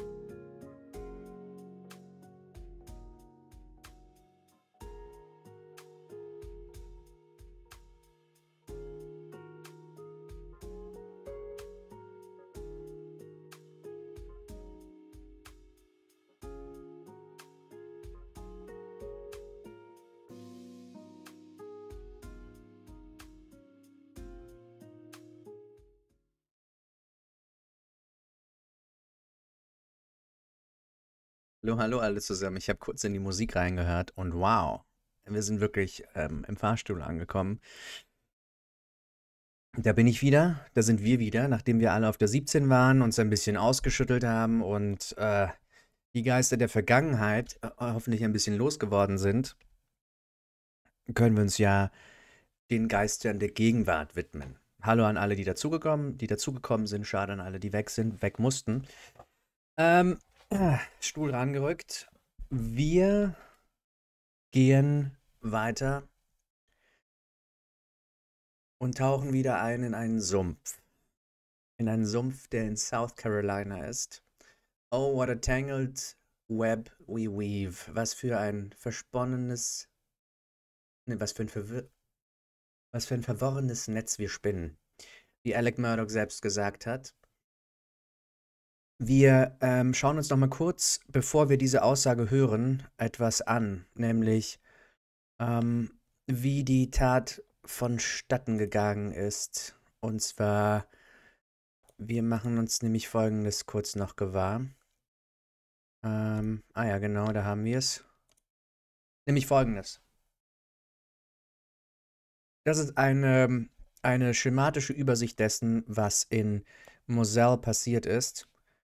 Nämlich, dass ein Schütze, also sagen wir es so, sagen wir es anders.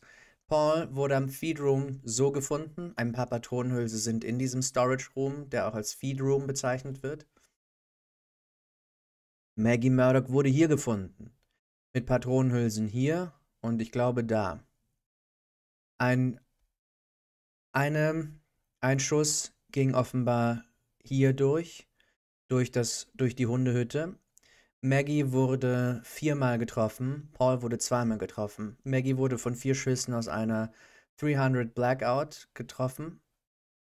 Paul wurde mit zwei Schüssen aus einer ähm, aus einer Schrotflinte getroffen. Einmal mit Buckshot und einmal mit Birdshot. Einmal in die Brust und einmal in den Kopf. Das Entscheidende ist, bei Paul zumindest, das Entscheidende ist, aus welcher Richtung war das? Das heißt, hat der Schütze sozusagen von außen geschossen die ganze Zeit? Oder war der Schütze gar drin und hat von oben geschossen auf ihn? Und das ist die Streitfrage, in der es in der Verhandlung, um die es in der Verhandlung ging. Ebenso ging es darum, ähm, wie, es, wie es denn ähm, kam, dass Maggie Verletzungen, ich glaube, an der Hüfte hatte, an der Brust aber ebenfalls ähm, ein, eine Wunde hier und eine, eine Austrittswunde am Kopf, glaube ich, wie das, wie das vonstatten gegangen sein könnte. Wir haben ja bereits Rekonstruktionen uns gemeinsam angeschaut. Heute werden wir uns ähm, eine Aussage anhören, die Dr. Reamer getroffen hat. Diesmal wird sie von Creighton Waters verhört. Creighton Waters, seines Zeichens Anwalt der Anklage. Jetzt checke ich noch, ob äh, alle, wieder, alle wieder auf dem Damm sind. Mhm, mhm. Eingetauscht gegen Mann, voll auf Empfang, gerade sitzen, Ohren auf. Sehr, sehr gut. Könnt auch sehr, sehr entspannt sitzen und eure Ohren zuhalten. Ähm, wenn, wenn, wenn euch das lieber ist. Lami, gute Nacht. An alle, die gehen müssen, gute Nacht. Wir machen weiter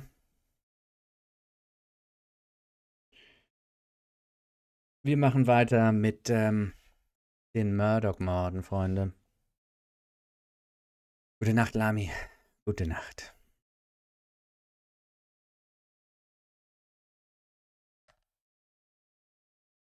Ja, das ist das Falsche weggemacht. Das ist auch nicht das Richtige. Wo habe ich's denn? Wo hab ich's denn? Da haben wir es. Viel Vergnügen. Das ist also Dr. Rima, eine Pathologin, aber lassen wir mal sie, sie mal selbst zu Wort kommen. Ja, hallo. Mein Name ist Dr. Alan Rima. Wie geht's Ihnen heute? Gut, danke. Ich fange mal an und wir gehen in Medias Res. Würden Sie der Jury bitte ein bisschen was über Ihre Ausbildung sagen, die dazu geführt hat, dass Sie eine Ärztin geworden sind? Ich bin graduiert von der Medical, Medical School 1997. Ich bin Doktor der Medizin. Das ist mein akademischer Grad. Nachfolgend habe ich eine Resi Residency gemacht in Pathologie in der New York, im New York Presbyterian Hospital im Columbia University Medical Center in New York. Daraufhin habe ich eine forensische Pathologie Fellowship gemacht im, beim Chief Medical Examiner in Maryland. Danach habe ich eine weitere Fellowship Trainee Year in der Johns Hopkins, im Johns Hopkins Hospital in der University School of Medicine gemacht, ebenfalls in Baltimore. Ich bin Zertif Board Certified, also ich bin zertifiziert in forensischer und anatomischer Pathologie. Ich habe alle meine Trainings und meine Ausbildung abgeschlossen. Ich habe meinen ersten Job als forensische Pathologin in Wake Forest angenommen, University School of Medicine in North Carolina, wo ich fast sechs Jahre war, bevor ich rekrutiert worden bin von der Medical University of South Carolina in Charleston, wo ich 14 Jahre als forensische Pathologin gearbeitet habe. Und in South Carolina in der Universität, Sie haben gesagt, Sie sind forensische Pathologin. Pathologin. Sind Sie Professorin? Sind Sie, lehren Sie? Ich habe eine, ebenfalls den Titel Professor der Pathologie und Laboratormedizin, Laboratorienmedizin. Weil wir eine, eine Lehrinstitution sind, bin ich verantwortlich, auszubilden, Medizinstudenten und Ärzte. Das ist ein integraler Bestandteil meiner Arbeit. Viele Arbeit, die ich erledige, wird observiert von Studenten und zu Trainierenden. Sie haben gesagt, Sie haben Zertifizierung vom Board. Wie, welche haben Sie denn? Damit jemand also... Es gibt das American Board of Pathology. Das ist eine Organisation, die zertifiziert, wer Spezialist ist in verschiedenen Feldern. Und dieses Board zertifiziert Spezialisten der Pathologie und die müssen eine sehr, eine sehr lange Examinierung vornehmen, demonstrieren und bestehen diese Examinierungen. Sie müssen ihr Residency Training abgeschlossen haben, ihr Fellowship Training abgeschlossen haben. Ich habe all das geschafft und bin jetzt zertifiziert in forensischer Pathologie. Ja. Haben Sie irgendein Mitglied in einer professionellen Gesellschaft oder sowas? Ich bin Mitglied der Medical Academy of Forensic Sciences. Ich bin ebenfalls verantwortlich für die Herausgabe von Zeitschriften und akademische Verantwortungen. Sie haben Journale erwähnt. Haben Sie im Feld der Pathologie Dinge veröffentlicht? Ja, das habe ich. Weil ich interessiert bin an, Aus, also an, an Ausbildung, an Lehren. Weiß ich nicht, ich weiß nicht genau wie viele, aber ungefähr 30 Veröffentlichungen habe ich durchgeführt. Pathologie, forensische Pathologie. Etwas, das geschätzt wird in akademischen Institutionen, das man nicht nur praktiziert, sondern, sondern auch beiträgt zum Korpus des Wissens im Feld. Im Laufe der Jahre, mit Ihrer Erfahrung, haben Sie einige Autopsien durchgeführt? Ja. Also die Hauptverantwortung meiner Arbeit ist es, Autopsien durchzuführen an verstorbenen Individuen, um zu bestimmen die Art und Weise des Todes.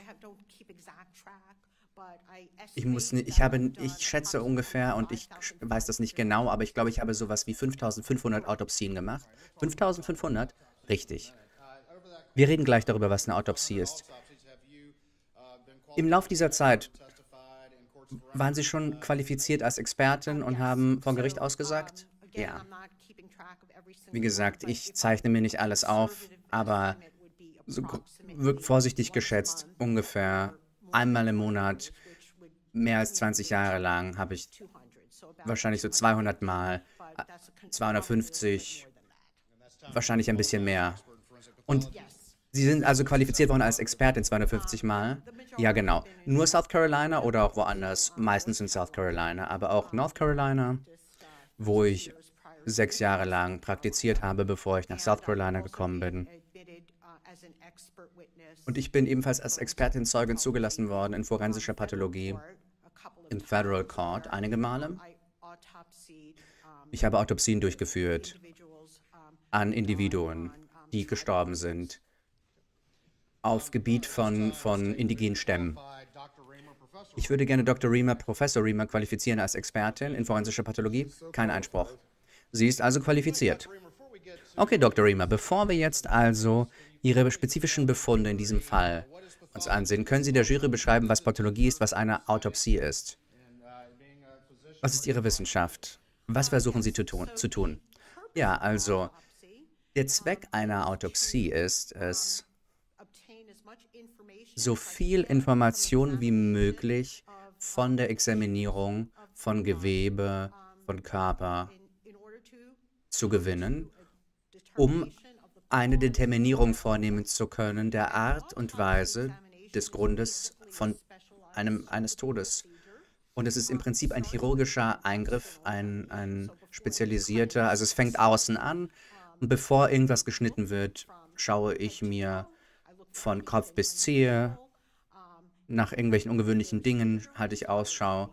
Wenn es Verletzungen gibt, schaue ich sie mir an, ich schaue sie mir umsichtig an, dokumentiere das, was ich finde, bilde mir eine Meinung darüber, wie diese Verletzungen entstanden sein können. Ich frage, weil wenn Sie traumatische, wenn Sie, wenn Sie Fälle haben, wo traumatische Verletzungen sind, die sind sehr, sehr, sehr, sehr grafisch. Und das ist aber, Sie müssen das beschreiben, oder? Ja, genau, das ist Teil dessen.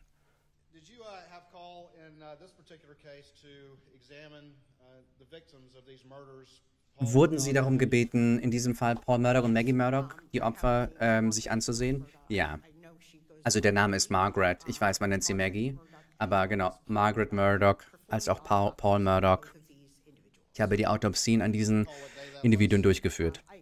Erinnern Sie sich, welcher Tag das war? Ich muss da äh, meine Aufzeichnung ansehen.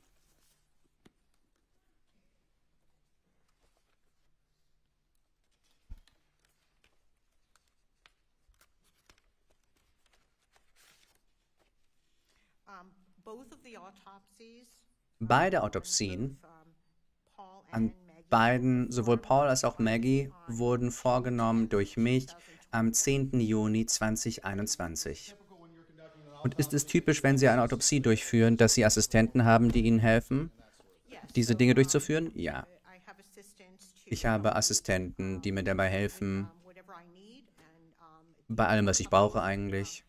Die Autopsien, also ich mache die Autopsien und die Assistenten, die ich brauche, machen, machen das unter meiner Anweisung.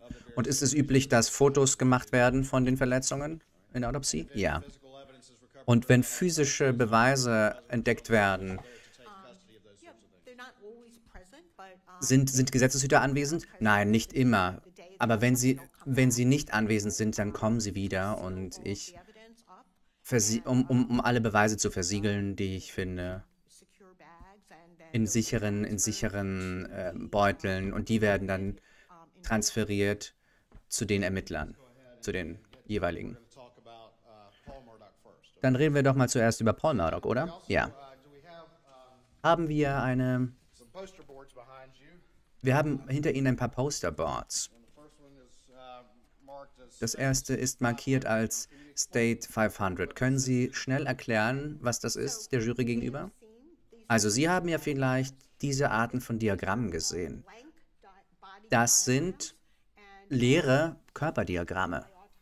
Also wenn ich Autopsien mache, einem Mann zum Beispiel, benutze ich dieses Diagramm und es ist im Prinzip für mich eine Art Notizzettel während der Autopsie, damit ich Befunde einbinden kann in meinen finalen Bericht. Aber das ist nicht etwas, das ich das ist wirklich nur für mich, für meine Erbauung, dass ich mir Dinge aufschreiben kann. Es hilft mir beim Verfassen eines Berichts, damit ich alles wirklich da drin habe. Wird Ihnen das helfen, während Sie der Jury erklären, welche, welche Verletzungen Sie gesehen haben? Ja. Dr. Riemer, wir fangen mal mit Paul an. Wenn Sie kurz sagen könnten, haben Sie irgendwelche Schusswunden an Paul bemerkt? Es gab zwei Schrotflintenwunden Also das ist äh, anders als zum Beispiel von einer Handfeuerwaffe. Eine Shotgun ist ähm, was, wo es gibt im Prinzip also Pellets, die in einem Wadding eingeschlossen sind. Und dieses Wadding, dieses Füllmaterial, nachdem es aus der Shotgun abgefeuert wird, es öffnet sich und es lässt zu, dass die Pellets aus diesem Wadding austreten können. Die, Arten seiner, die Art seiner Verletzung haben mir gesagt, in ganz, klarer Phrase, in, in ganz klaren Sätzen, dass das aus einer Shotgun ist. Wenn Sie sich, wenn Sie vielleicht, ich habe hier ein, ein, ein, ähm, ein Edding, vielleicht könnten Sie hier ma markieren, was Sie notiert haben bei Paul Murdoch. Und wenn Sie uns zeigen könnten, auf dieses Brett zeichnen, einzeichnen könnten, die erste Schrotflintenwunde, die Sie an Paul beobachtet haben. Gut.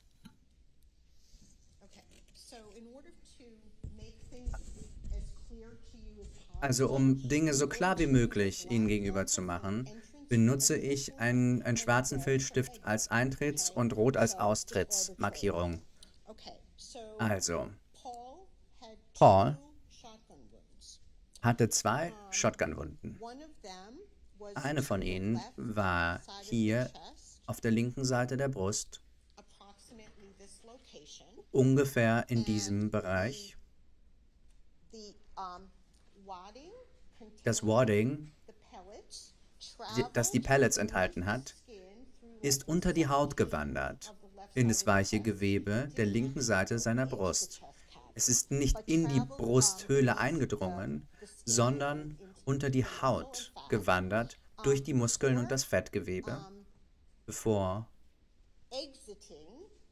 es die linke Achsel wieder verlassen hat. Es ist wie so eine links, äh, reich, das ist so ein von rechts nach links Schluss. Wenn Sie sagen von rechts nach links, dann reden Sie Pauls rechts, oder? Ich, ich denke immer an das rechts-links des Patienten. Wenn wir uns das ansehen, dann ist es von links nach rechts. Aber ich, ich sage das immer, damit es dasselbe ist, dass es relativ zu seinem Körper ist. Können Sie ein L und ein R bitte hinschreiben für links und rechts? Ja, ja, nein, nein, das machen wir auch wirklich genauso während Autopsien, weil wir... Äh, es ist sehr leicht, es einen Fehler zu machen. Außerdem können Sie bitte da Paul hinschreiben, da oben.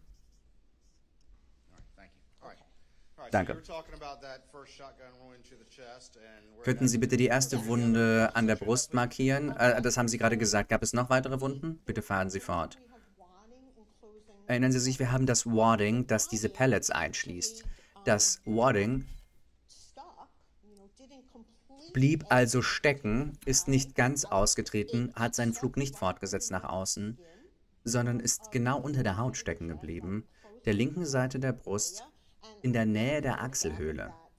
Wir haben davon ein Foto. Das ist pinkes Wadding, das in der Haut der Austrittswunde stecken geblieben ist. Von dort aus gibt es mehrere Shotgun-Pellets, die angefangen haben, durch den linken Arm zu gehen. Von der Unterseite des linken Arms beginnend hat das Wadding in der Haut geendet.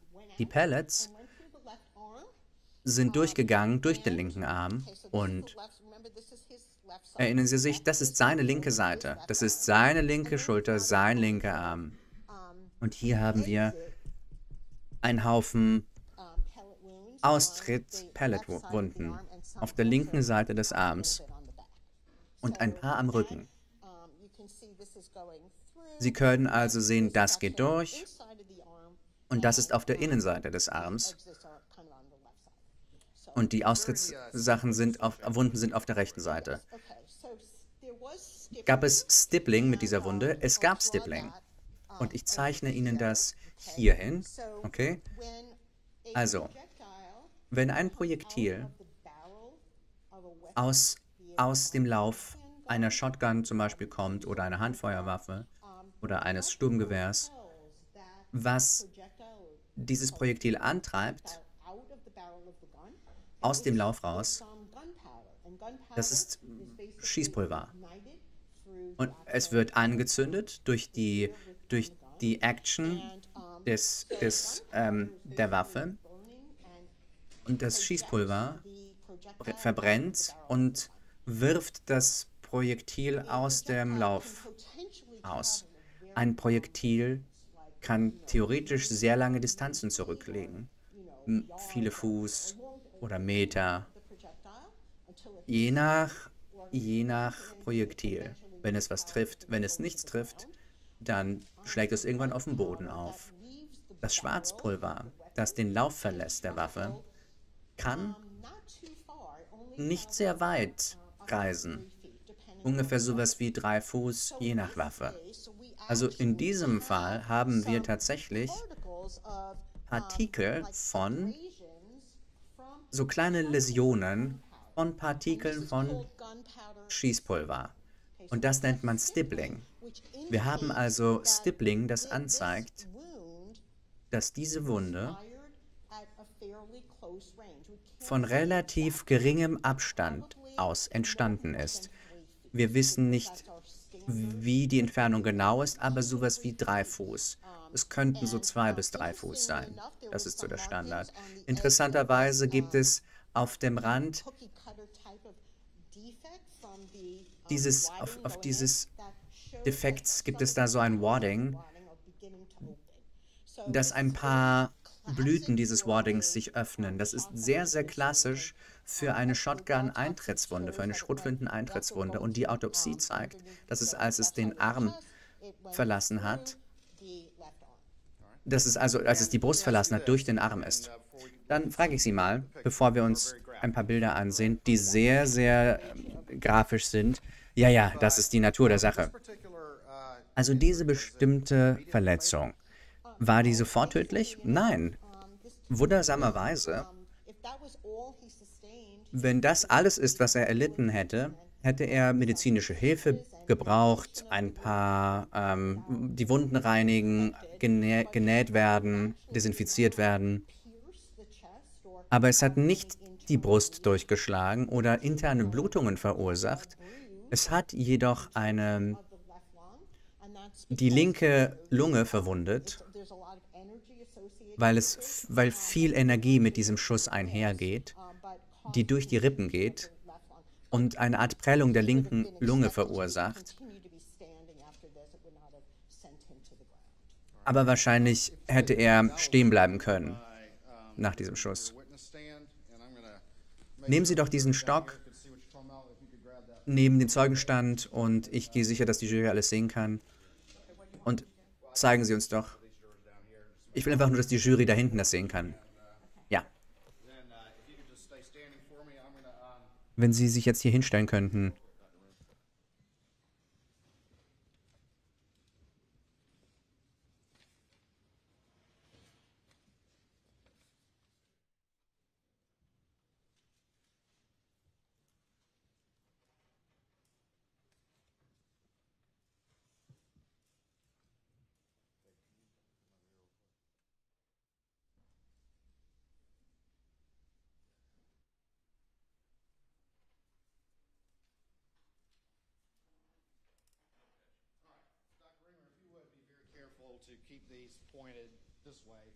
Vielleicht könnten Sie sie in diese Richtung halten. Ich würde gerne, dass Sie sich folgendes Anschauungsmaterial ansehen und ob Sie diese Bilder erkennen und sagen, das sind also Fotos. Sagen Sie ganz schnell, ob Sie diese Fotos erkennen. Ja, ja, ich erkenne diese Fotos. Alle. Und das sind Bilder, die in der Autopsie gemacht worden sind? Ja. Hilft Ihnen das, die Verletzungen zu erklären? Ja.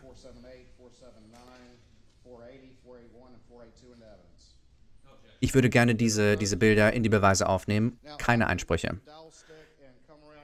Also vielleicht, wenn Sie sich diesen Stecken nehmen könnten, zum Bildschirm gehen könnten. Wir sehen uns gleich das erste Bild an.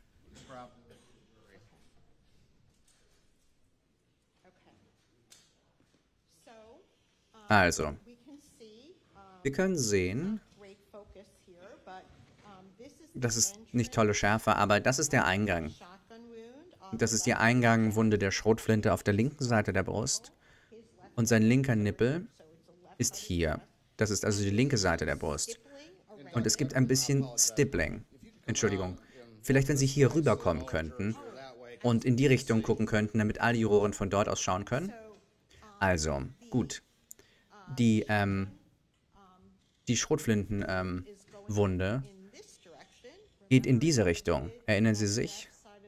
Es ging aus der linken Seite der Brust raus und ging dann weiter durch den linken Arm. Das ist also ein Foto von dieser Wunde in der Brust. Wir sehen uns gleich noch mehr Nahaufnahmen an, aber das ist die Eintrittswunde, ist das richtig? Ja. Und dann haben wir hier ein paar Verletzungen, oder? Ist da, wo die Pellets ausgetreten sind? Ja, genau. Das Wadding, was so ein, das ist ein Teil, das, was die Pellets zurückhält. Es ging in die Haut, aber kam nicht mehr raus. Aber all diese Pellets, die aus dem Wadding ausgetreten sind, sind durch den linken Arm gegangen. Wir sehen uns das nächste Anschauungsmaterial an. Was ist das für ein Bild? Das ist eine engere Sicht der Eintrittswunde. Sie können sehen, das sieht aus, als gibt es da so kleine, fast schon so Vierecke, die da so rausragen aus dem, aus dem, aus dem Rand. Das sagt uns, dass das Warding anfängt sich zu öffnen. Weil das, das hat wie so, wie so Blüten. Das ist klassisch. Ich könnte es in einem Buch abbilden. Das ist übereinstimmend mit einer Schrotflinten-Eintrittswunde. Und wir können die Punkte hier drumherum sehen. Das sind Teile von, von Schießpulver, das auf die Haut aufgetroffen ist. Weil wir von einer Distanz von drei Fuß, also sowas wie äh, 80 Zentimetern sprechen. 80, 90 Zentimeter. Wir gehen zum nächsten Anschauungsmaterial. Also wenn ich ein Foto mache normalerweise, will ich nicht zu nah ran. Weil sonst sieht man ja nicht, wo es ist am Körper. Aber hier, das ist der Nippel, wir sehen das, oder? Und wir haben diese Eintrittswunde hier gesehen. Also hier haben wir also eine, das ist eine Austrittswunde. Und dieses pinke Wadding ist genau da festgesteckt. Und Sie können sehen, das sind diese Blüten da am Rand. Und das gibt der Eintrittswunde diesen einzigartigen, dieses einzigartige Aussehen. Das ist übrigens ein, sowas wie ein Zylinder, das viele Pellets beinhaltet. Und wir haben einige der Pellets, die durch die umliegende Haut dringen und entlang der linken Seite, der lateralen Seite der Brust, da wo die Achsel ist, gehen. Ich zeige Ihnen das nächste Material. Ja, erkennen Sie das? Ja, das ist das Wadding, das ich in der Autopsie gefunden habe und ein Bild gemacht habe davon.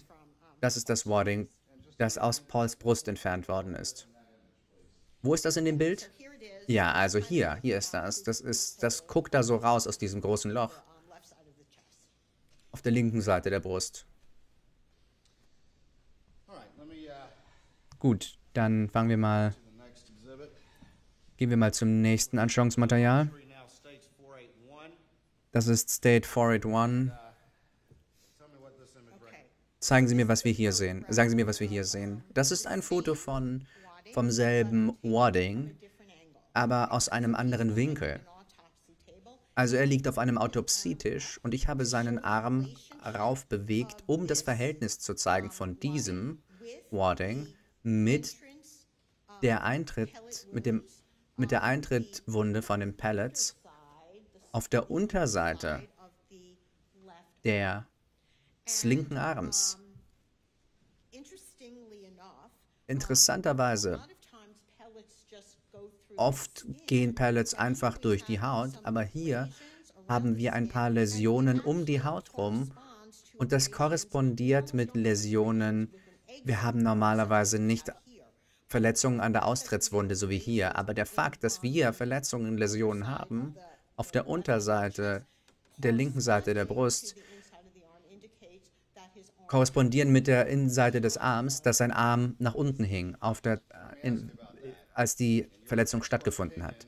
Dann darf ich Sie fragen, Ihrer Expertenmeinung nach, Sie haben 55, 5 5500 Autopsien durchgeführt. Gibt es irgendeine Möglichkeit, dass seine Hände auf, nach oben waren? Nein. Nein, die Autopsie beantwortet diese Frage, dass seine Arme an seiner Seite hingen zu der Zeit, als er diese Verletzung bekommen hat. Können Sie bitte die spezifischen Merkmale äh, uns nochmal sagen, warum Sie drauf, wie Sie drauf kommen? Also sagen wir doch mal hypothetisch, wenn sein Arm oben wäre, Sie sehen ja die ganzen äh, Abrasionen, diese ganzen Läsionen aus dieser Eintrittswunde und um die Eintrittswunde, dann, dann würden wir das nicht sehen, weil die ausgelöst werden dadurch, wenn die Pellets und das Warding an die Haut drückt. Die Haut ist sehr, sehr elastisch. Es ist sehr logisch.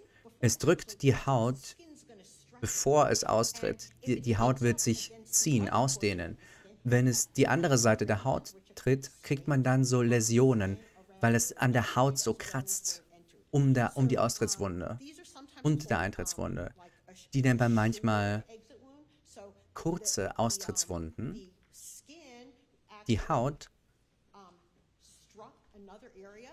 hat einen anderen Bereich getroffen und es korrespondiert genau. Das ist wie eine Reflexion. Wir sehen, das wird hier reflektiert und das ist das da drüben. So eine Markierung kriegen wir nur, wenn sein Arm neben ihm hängt, wenn sein Arm unten ist. Es ist die logische Schlussfolgerung und ich bin sicher, dass das die Position seines Arms war zur Zeit, wo er angeschossen worden ist, basierend auf meinem Training und 20, mehr als 20 Jahren von Erfahrung. Gut, Look at the next exhibit, which will be 482. schauen wir uns mal das nächste ähm, Anschauungsobjekt an. Sagen Sie uns doch, was Sie hier sehen und ob das Ihre, Ihre Schlussfolgerung unterstützt, die Sie uns gerade gesagt haben. Also das sind Austrittspelletwunden auf der Außenseite des Arms in diesem Bereich. Das ist sowas wie seine Achselhöhle und wir können sehen, das sind diese Pellets Austrittswunden haben nicht die Art von Läsionen um sich rum. Das findet einfach so seinen Weg durch die Haut und in diesem, da, dieser ist, ist hier da drüben und je weiter die Pellets wandern, desto mehr breiten sie sich aus. Nachdem die Pellets also das Wadding verlassen, verteilen sie sich. Aber das sind Austritts-Pellet-Wunden und wir haben nicht die Läsionen, die suggerieren, dass sein Arm gegen irgendwas gedrückt ist, zu der Zeit, als die Pellets ausgetreten sind. Gut. Eine weitere Sache, wadding sein Arm ist also unten, das Warding ist immer noch in seiner Brust, oder? Ja. Gut. Also, dann gehen wir doch mal weiter. Geben Sie mir eine Sekunde, um ein weiteres Anschauungsmaterial zu besorgen.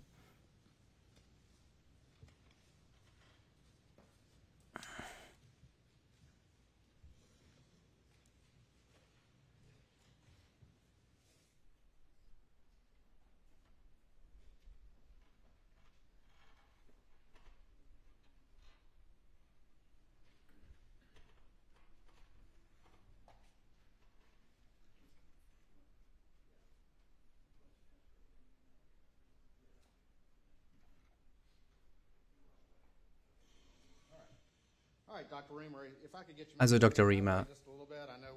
wenn Sie sich vielleicht da hinstellen könnten, ich weiß, es ist eng hier, aber wir versuchen das so respektvoll wie möglich zu gestalten mit den Bildern. Ich würde Ihnen gerne ein neues Anschauungsmaterial zeigen von State.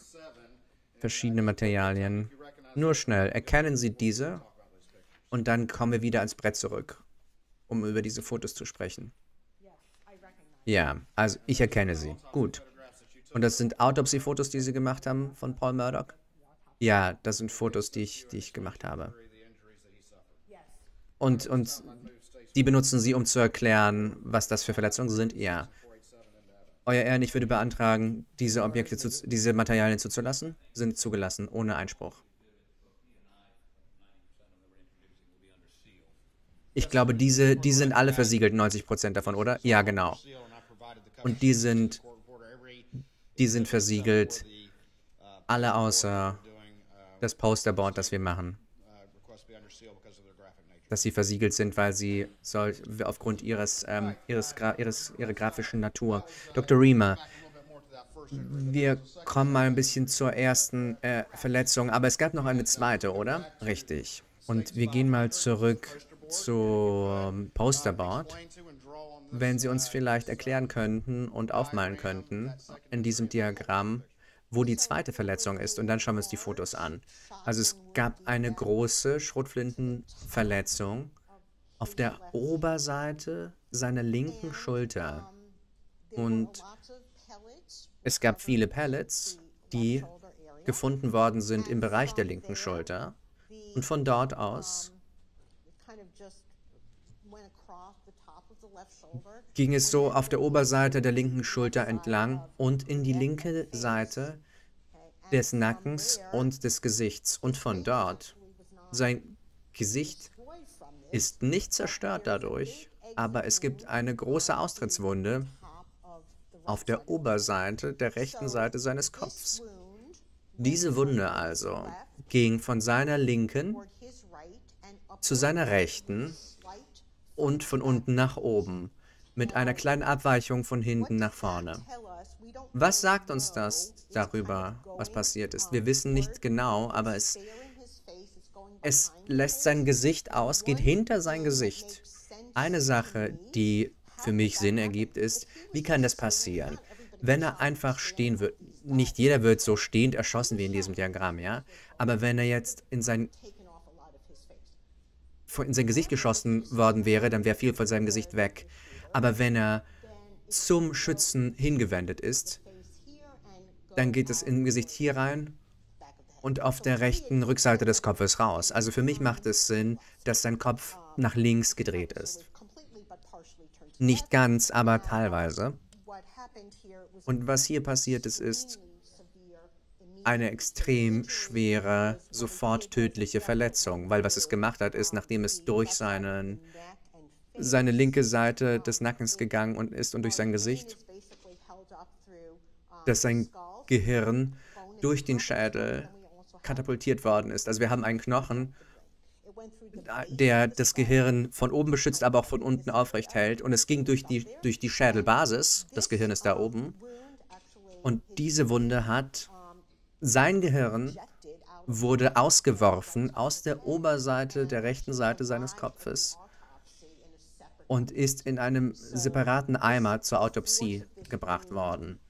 Die Kraft dieser Wunde hat sein Gehirn aus seinem Kopf gedrückt.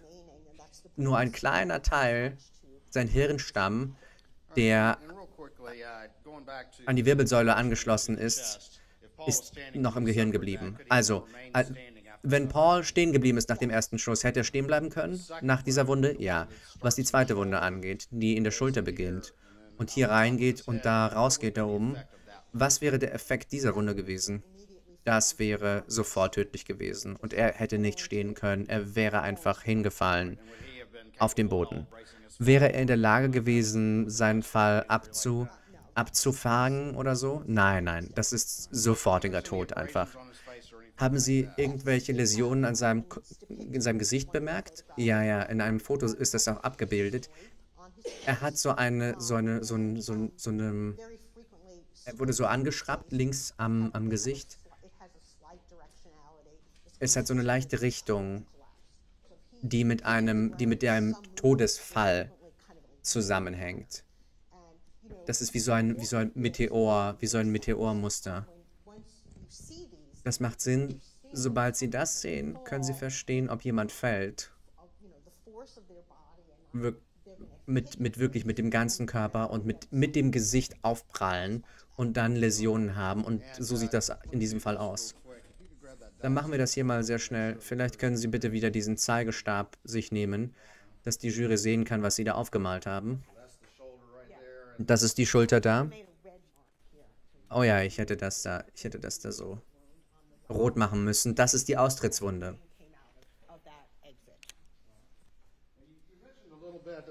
Sie haben ein bisschen erwähnt, was die, ähm,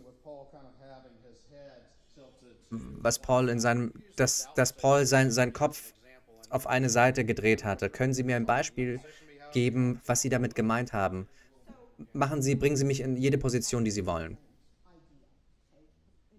Es gibt eine andere Idee, um zu verstehen, wie das passieren kann. Also, wenn eine Shotgun-Wunde auf der Oberseite der linken Schulter eintritt, und dann sagen wir mal, sein Kopf ist in diese Richtung gerichtet, dann geht es direkt ins Gesicht. Aber wenn sein Gesicht in diese Richtung gedreht ist, dann geht es nicht ins Gesicht, sondern tritt hinter dem Gesicht aus. Wenn also jemand einfach nur geradeaus guckt, er hätte jetzt wahrscheinlich viel Schaden an seinem Gesicht verursacht, aber der Fakt, dass sein Gesicht intakt ist, sagt mir, dass sein Kopf, ich weiß nicht rauf oder runter, aber in die Richtung gedreht war, aus die der Shotgun-Schuss kam. Und die Verletzung an der Schulter wäre dann wo? Auf der Oberseite der Schulter. Darum ist seine, sein Brustkörper, sein, sein Brustkorb nicht verletzt, sondern nur Haut und Gewebe der linken Schulter. Es gab viele Pellets, die aus der linken Schulter, aus dem linken Schulterbereich entfernt worden sind, als auch aus dem Kopf. Ich zeige Ihnen sehr schnell ein weiteres Anschauungsmaterial. Erkennen Sie das? Ja, das sind die Pellets, die ich entfernt habe aus der linken Schulter und dem Kopfbereich. Gut. Wenn Sie vielleicht auf dieser Seite bleiben könnten, dass die äh, Jurymitglieder Sie sehen können. Auf der Seite? Ja, wenn Sie vielleicht dahin gehen könnten, damit wir Sie sehen können.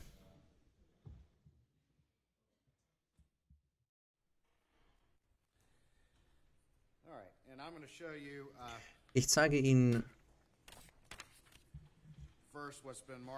zuerst, was markiert worden ist als Anschauungsmaterial des Staates. Können Sie mir sagen, was ist auf diesem Bild? Was, was, was, was Ihre Beschreibung von Läsionen und so weiter angeht? Wir können sehen, dass das eine Läsion ist. So, so ein Schrappen auf der rechten Seite seines Gesichts. Und es hat so einen, Sie können so, so eine Linearität erkennen. Wenn er also flach gefallen wäre, hätten wir vielleicht nur Punkte. Aber wenn es eine Bewegung gibt, dann, dann trifft er den Boden und bewegt sich ein bisschen nach vorne. Darum haben wir diese vertikale Richtung. Und das ist eine sehr typische Verletzung im Gesicht, die jemand hat durch einen, durch einen Todesfall. Also nachdem man eine tödliche Verletzung erlitten hat, was passiert? Man fällt zu Boden. Und es kommt auf, den, auf die Unterlage an, Gras, Beton. Und das ist sehr, sehr typisch. Ich weiß nicht, was das für ein Untergrund war, aber von einem Todesfall. Also von einem Fall, nachdem jemand verstorben ist.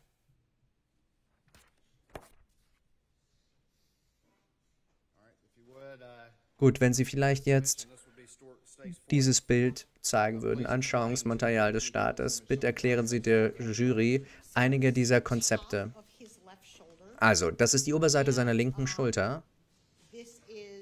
Und das ist die Fortführung von der Munition, die durch die linke Seite seines, seines, seiner, seiner Unterseite des Gesichts geht. Und von da ging es hinter sein Gesicht durch seine Schädelbasis und trat aus der rechten Seite oben an seinem Kopf aus. Diese zwei zusammen, das ist, was Sie beschrieben haben, oder? Als Sie meinen Kopf positioniert haben? Ja, genau. Zu, nach links war der so gerichtet. Ich glaube, das macht am meisten Sinn, logischerweise. Pathologie ist sehr, sehr logisch. Also wenn wir uns diese Dinge ansehen, müssen wir uns denken, wie hätte das passieren können? Nachdem es ist nicht immer sofort offensichtlich, aber wenn man ein bisschen Gedanken reinlegt, dann kann man zu Schlussfolgerungen kommen, zu komplexen auch. Nächstes Anschauungsmaterial. Das ist, das, das ist dieselbe Verletzung durch einen einzelnen durch ein einzelnes Stück Munition ausgelöst. Es ging in, es trat ein in die linke Seite seines Nackens und seines Gesichts. Einige dieser Pellets haben viel Schaden da angerichtet, weil sie sich verteilt haben. Je weiter sie gehen, desto mehr verteilen sie sich und einige sind durch seinen Gehörgang und andere Strukturen des Nackens gewandert und sind durch die Schädelbasis eingedrungen und haben einen Großteil des Gehirns aus der rechten Rückseite seines Kopfes befördert.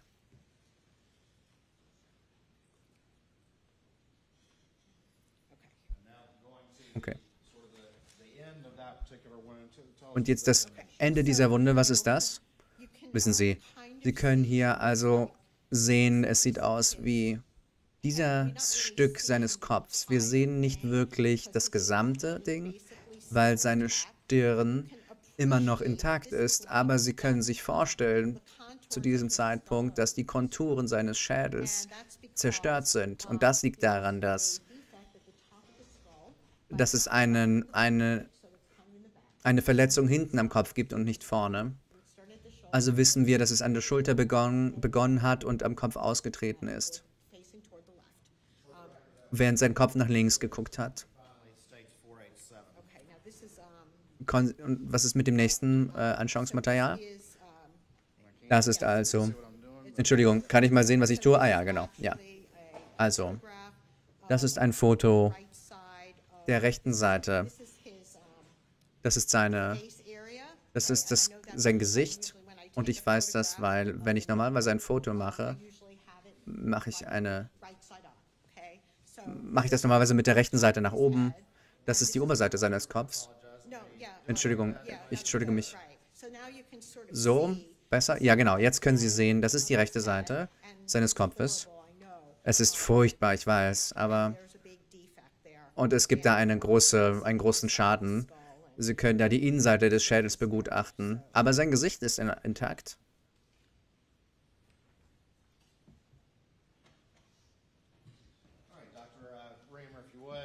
Dr. Reamer, wenn Sie vielleicht...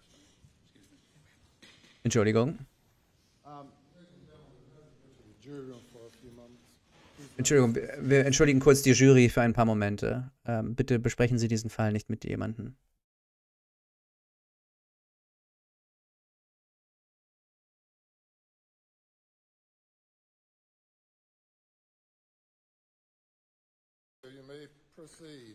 Sie dürfen fortfahren. Ja, Euer Ehren. Darf ich kurz fortfahren? Dr. Reamer. Bevor, vor der Pause haben wir die katastrophalen Schäden des zweiten Schusses an Paul besprochen und der wäre sofort tödlich gewesen, oder? Ja. Ich frage Sie nur kurz, sehen Sie Beweise von Verteidigungswunden an Paul? Nein, ich habe keine entdeckt. Können Sie uns kurz erklären, was eine Verteidigungswunde ist und warum Sie keine gesehen haben? Ja. Also eine, eine Verteidigungswunde, manchmal könnte vielleicht ja jemand Verletzungen erleiden, die suggerieren, dass sie ihre Hände oder Arme erhoben haben, während sie versuchen, sich zu verteidigen von dem, von dem, was gerade pass ihnen passiert. Ich sehe nichts an seinen Händen, das indizieren würde, dass er das gemacht hat, dass er seine Hände am Kopf hatte oder sich, sich vorbereitet hat auf die Verletzung, die kommt. Ihrer Expertenmeinung nach, sein Arm war unten beim ersten Schuss? Ja, genau, beim ersten Schuss war sein Arm unten und ich sehe keine Beweise von Verletzungen, auch bei dem zweiten Schuss nicht. Das an seinem, die Verletzung an seinem Gesicht ist, weil der zweite Schuss ihn getötet hat und er gefallen ist? Genau.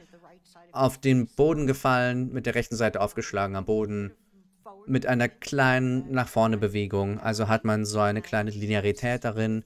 Das wäre übereinstimmend mit dem Zusammenbrechen zu Boden. Das ist sehr oft, dass Leute, nachdem sie eine ähm, Verletzung erleiden, die sie außer Gefecht setzt, wenn sie stehen, fallen sie hin. Gravitation. Und darum war er mit dem, er war so mit dem Gesicht nach unten da und er hat eine kleine Schrappung aufgrund seines Körpers, der aufgeschlagen ist. Was für Toxikologie wurde, wurde äh, vorgefunden bei Paul? Äh, vorgenommen bei Paul? Also jede Person, die eine Autopsie hat, da wo ich lehre, jeder bekommt eine toxikolo toxikologische Testung, eine vollständige. Die Toxikologie wird, wurde in ein Laboratorium geschickt, die nach allen möglichen Substanzen testen. Und alles, was er hatte im Blut zum Zeitpunkt seines Todes, war Koffein. Kein Alkohol, keine Drogen, kein Alkohol, keine Drogen. Negativ. Waren Sie in der Lage, Schlussfolgerungen zu treffen darüber, wie äh, Paul die Wunden erlitten hat? Meiner Meinung nach, basierend auf meiner Ausbildung und Erfahrung, die erste Wunde der Schrotflinte, die äh, Wunde eingangs, traf seine Brust, der Schuss traf seine Brust, infolgedessen er stehen geblieben ist. Und die zweite Wunde auf der Oberseite der linken Schulter in den Kopf erhalten hat. Wer, wenn wir uns darüber nachdenken, jetzt ist das möglich, dass das eine zuerst und das andere zu zweit war. Also es ist, wäre unmöglich. Es widerspricht der Logik, wenn das, wenn das an der linken Schulter zuerst wäre, durch seinen Kopf. Wir wissen ja nämlich, dass ihn das ja außer Gefecht setzen würde und er wäre zu Boden gefallen. Wie hat er dann also die Schusswunde in die Brust bekommen? Also es ist einfach nur sehr, sehr schwer vorzustellen. Ein Szenario, in dem die Schrotflintenwunde in den Kopf vorausgeht. Dann gehen wir doch mal von ihm zu Maggie Murdoch. Sie haben ja die Autopsie auch an ihr durchgeführt? Ja, das habe ich. Gut. Wie viele Schusswunden, nur schnell, haben Sie beobachtet an Maggie? Sie hatte also insgesamt fünf Schusswunden gehabt. Von mindestens vier Schüssen. Es hätten vier Schüsse sein können mit fünf Wunden oder fünf einzelne Schüsse. Und ich werde Ihnen erklären, was ich damit meine. Das ist markiert als, äh, als Material, das ist ein Diagramm. Ja, genau. Das ist das weibliche Diagramm für Frauen. Und das ist, was ich benutzt habe, um Notizen zu machen, während ich die Autopsie gemacht habe. Wenn Sie hier runterkommen könnten, bitte. Und hier rübergehen könnten und dasselbe durchführen könnten mit Maggie, wenn Sie vielleicht Ihren Namen oben hinschreiben könnten und links und rechts markieren könnten, damit wir, damit wir Hilfe erhalten beim Verstehen.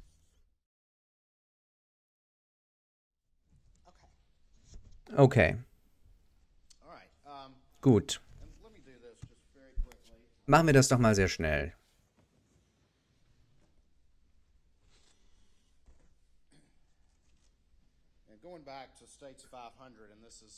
In States 500, das ist Paul, oder? Ja. Und Sie haben hier einen Fall gezeichnet, den, der die Richtung des ersten Schusses anzeigt. Können Sie bitte für den zweiten Schuss die Richtung anzeigen? Na klar. Ich würde gerne das in die Beweise aufnehmen. Ja. Benutzt er das als Demonstration oder würde es in den Beweisen sein? Ich will es in die Beweise. Kein Einspruch. Gehen wir mal zurück, das ist Maggie, oder? Ja, richtig. Wenn Sie könnten, detaillieren Sie doch mal die Details, die Sie an Maggie beobachtet haben. Was ist das Wahrscheinlichste, basierend auf der Durchsicht der Beweise durch, durch Sie? Das war einfach eine andere Waffe. Es war keine Shotgun mit Warding und Pellets. Diese Verletzungen, die Maggie erlitten hat, waren von wahrscheinlich von einer Assault Rifle. Es ist eine andere Waffe. Und ich gehe durch die fünf Wunden durch und wir denken darüber nach und ich versuche Ihnen zu erklären, wie ich meine Meinung gebildet habe. Wie diese Schüsse hätten passieren können, so wie wir Pauls Shotgun-Wunde rausgefunden haben. Wir machen das hier mit ihr auch, aber sie hat ein paar mehr Wunden. Wir brauchen ein bisschen mehr logisches Denken. Also, sie hatte eine Eintrittswunde, die genau hier war. Das ist ungefähr genau unter dem Rippenbogen. nicht weit weg von der Mitte, von der Mittellinie ihres Körpers. Und diese Wunde, wir erinnern uns, das ist rechts und links. Es ist sehr, sehr schwierig, sich, es ist sehr, sehr leicht, sich zu verwirren, aber das geht hier von vorne nach hinten und nach unten. Und es gab eine Austrittswunde ungefähr genau da unten. Es kam hier rein. Wir befinden uns in einer Abwärtsrichtung, ungefähr 15 Zentimeter unter dem, wo es eingetreten ist, 20 Zentimeter drunter. Da unten war die Austrittswunde. Auf dem Weg dahin dieses, hat dieses Projektil, diese Kugel, die, die abdominale Wand, die Muskeln und so weiter durchquert, ist in den Körper eingedrungen und, und hat die, die Darmschleimhaut durchschlagen, also die Darmwand durchschlagen, die unsere Gedärme zusammenhält.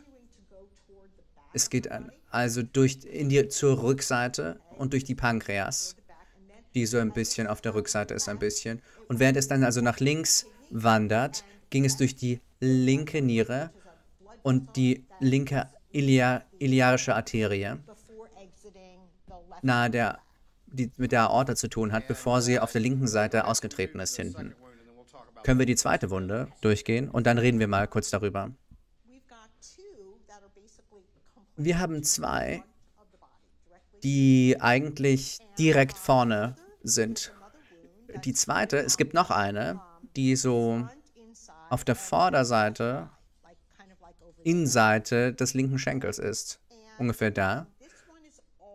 Und diese ist also ebenfalls von vorne nach hinten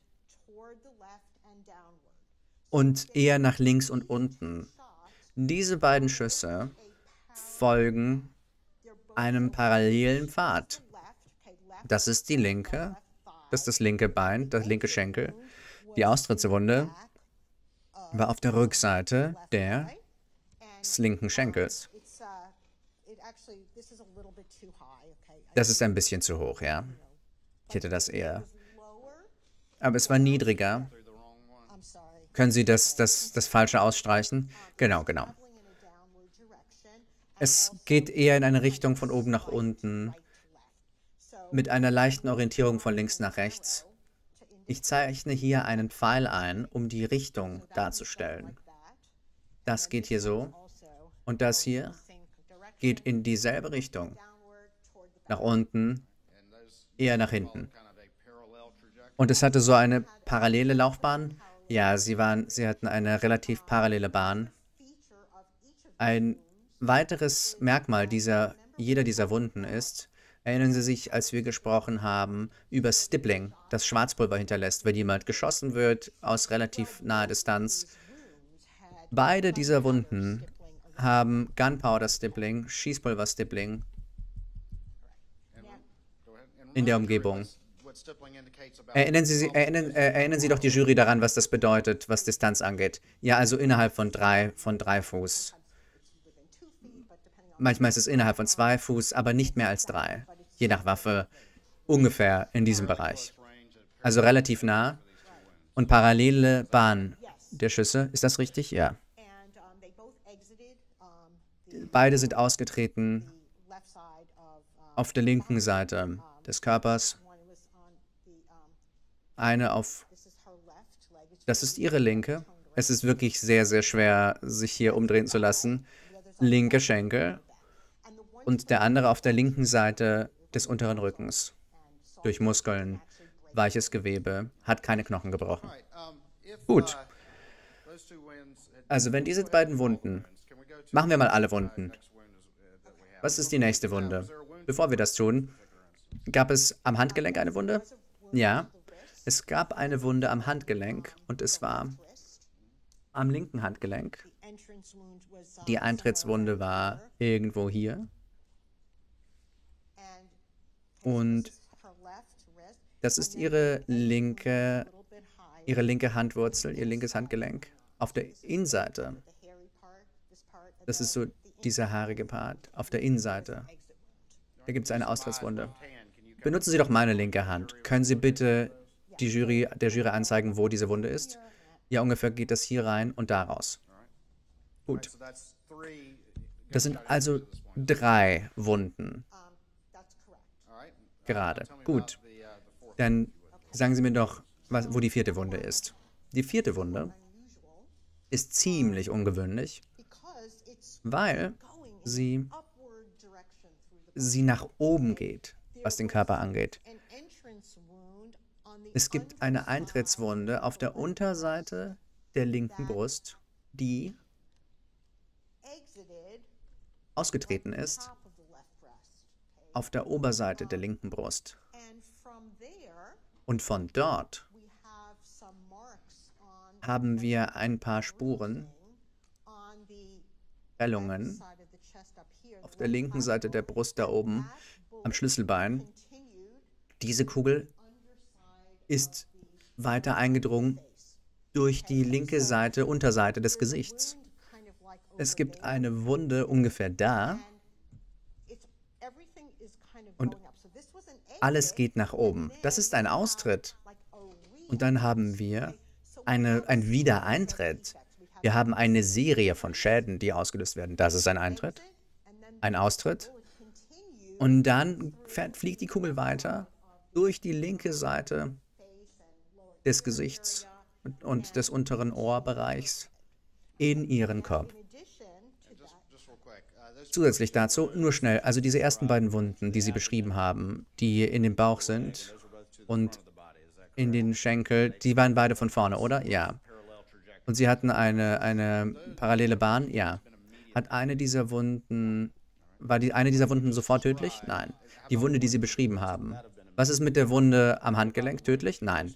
Was ist mit der Wunde, die Sie beschrieben haben gerade, die in die Brust rein und in den Kopf ist? Ja. Das wäre sofort tödlich gewesen, weil als es in, in die linke Seite eingedrungen ist, hat es, äh, ihres Gesichts hat es das Gehirn zerstört im Prinzip. Gab es noch eine weitere Verletzung außer der?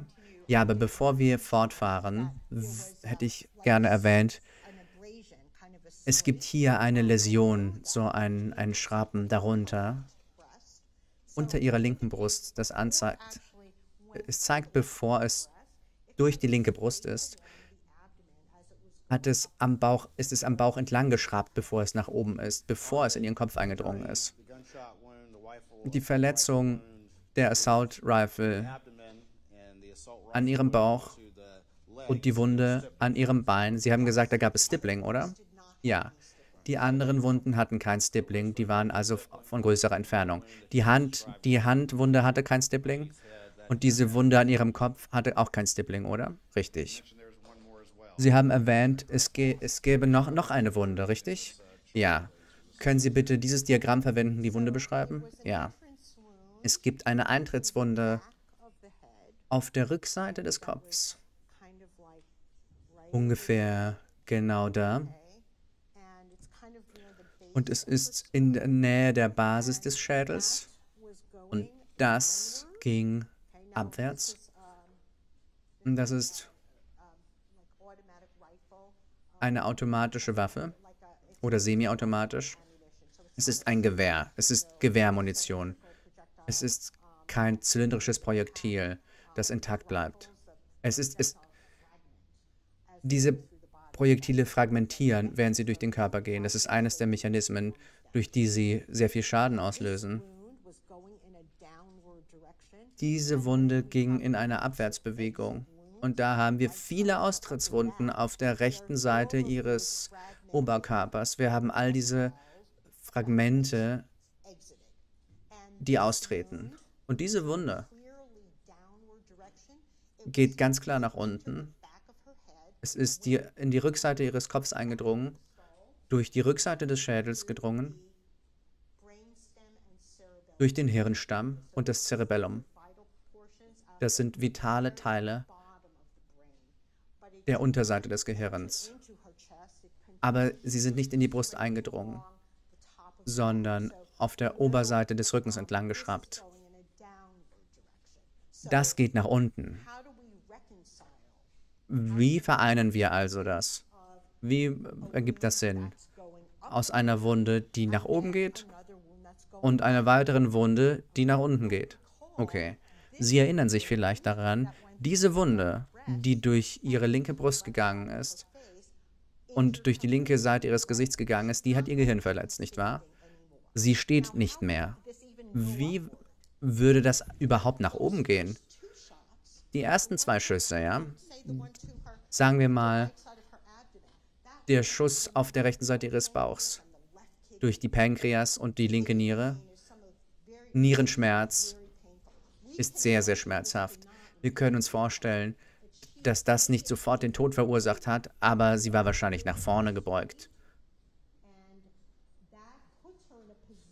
Und das bringt sie in eine Position, wo sie nach vorne lehnt und wo eine Wunde entstehen kann, wenn wir uns ihren Körper ansehen, wenn sie aufrecht wäre, ja, und sie eine Wunde bekommt. Wir wissen, dass es da nach oben geht, weil es ja in ihrem Kopf geendet hat.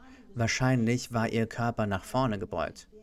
Und es hätte ja sein können, dass sie diese sehr schwere Wunde bekommen hat in ihren Bauch und zusätzlich noch in den Schenkel, dass sie wahrscheinlich, meiner Meinung nach, nach vorne übergebeugt war. Oder vielleicht schon auf dem Boden gelegen hat, aber nicht ganz flach. Zu dem Zeitpunkt. Weil man muss da ein paar Bereiche überspringen. Das bedeutet also, wenn sie nach vorne gebeugt ist, hat sie so ein paar Balken auf der, aber es ist ja auf der Unterseite der Brust eingedrungen, dann wieder raus. Auf jeden Fall sehr, sehr schmerzhaft. Haben Sie diesen Zeigestab nochmal? Benutzen Sie mich doch wieder, um ein paar der Konzepte zu beschreiben, über die Sie gesprochen haben. Reden wir doch mal über diese ersten zwei Schüsse in den Bauch und positionieren Sie mich, wenn wir uns durch die Schüsse bewegen. Also, stellen Sie, stellen Sie sich doch mal dahin. Na klar, na klar. Also jetzt muss ich so ein bisschen... Ja, so. Ich kann das nicht zeigen ohne... Also, der Eintritt wäre hier gewesen, in den Bauch, ging durch den Körper und ging auf der linken Seite des unteren Rückens raus. Als es im Körper war, ist es durch die Pankreas durch eine, durch eine Niere durch und wieder ausgetreten. Und dann am Schenkel, eher so auf der Innenseite, und das trat aus weiter unten am linken Schenkel. Auf der und der in den Bauch war sehr schmerzhaft? Ja. Wenn Sie jemanden kennen, der, der Nierensteine hat, Nierensteine sind eine der schlimmsten Schmerzen, die man haben kann. Man braucht hohe Dosen von Morphin, um den Schmerz ein bisschen erträglicher zu machen. Wenn Sie also Munition haben, die durch Ihre linke Niere geht, kann man sich vorstellen, dass das sehr schmerzhaft war und vielleicht Auslöser dafür war, dass sie nach vorne gebeugt ist. Sie, sie ist also auf, wahrscheinlich auf, auf Händen und Knien, oder? Ja, wahrscheinlich. Vielleicht ist ihr Kopf auch nach unten gebeugt oder berührt den Boden. Dieser Schuss hier, ja, den Sie beschrieben haben, gibt es irgendeine Möglichkeit, dass zu diesem Zeitpunkt sie vollkommen flach ist am Boden? Nein. Weil eine Kugel kann da nicht, nicht nach oben. Sie hätte mindestens, also das ist jetzt nicht hundertprozentig, aber es macht Sinn, dass nachdem sie die ersten beiden Schuss abbekommen hat, dass sie nach vorne gebeugt ist. Oder wahrscheinlich noch näher am Boden ist. So dergestalt, dass sie eine Wunde bekommen kann, die durch die Vorderseite der linken Seite der Brust geht. Und wenn ihr Kopf noch nach unten gebeugt ist, also noch weiter, können Sie sich vorstellen, dass es da durch den Kopf geht. Ich, ich habe mir das zuerst angeschaut. Was bitte? Aber in der Rückschau macht das ziemlich viel Sinn für mich. Das alles kommt hier gut zusammen. Zu diesem Zeitpunkt haben wir über den Bauch gesprochen, über die Schenkelwunde. Ist, waren das die ersten beiden Schuss? Ja, ich glaube, sie ist aufrecht gestanden. Sie hätte die Wunde nur links links durch den Körper in den Kopf bekommen können, wenn sie horizontal ist, aber nicht komplett auf dem Boden. Aber nachdem sie diese Wunde bekommen hat, ja, Ich gehe mal auf, auf Hände und Knie. Oder übergebeugt, genau. Es ging in, ihren, in ihr Gehirn. Sie fällt komplett zu Boden. Und das bringt sie in eine Position, dass sie die Wunde auf der Rückseite ihres Kopfes erhält. Sie sind ein bisschen weit weg. Ich gehe hier ein bisschen darüber. Zeigen Sie mir die letzte Wunde. Die letzte Wunde ging nach unten, auf eine Bahn nach unten. Genug, um den Schädel zu brechen und den Hirnstamm zu beschädigen. Und dann haben wir da viele Austrittswunden. Das ist so eine nach unten gehende Richtung. Wir haben was, was nach oben geht, wir haben was, was nach unten geht. Und es macht Sinn, dass das auf der linken Seite und auf, dass das vorne zuerst war. Weil wenn das hinten zuerst gewesen wäre, dann wäre sie schon tot gewesen. Und das, was nach unten gerichtet war, auf der Rückseite ihres Kopfes ist noch eine zusätzliche Wunde.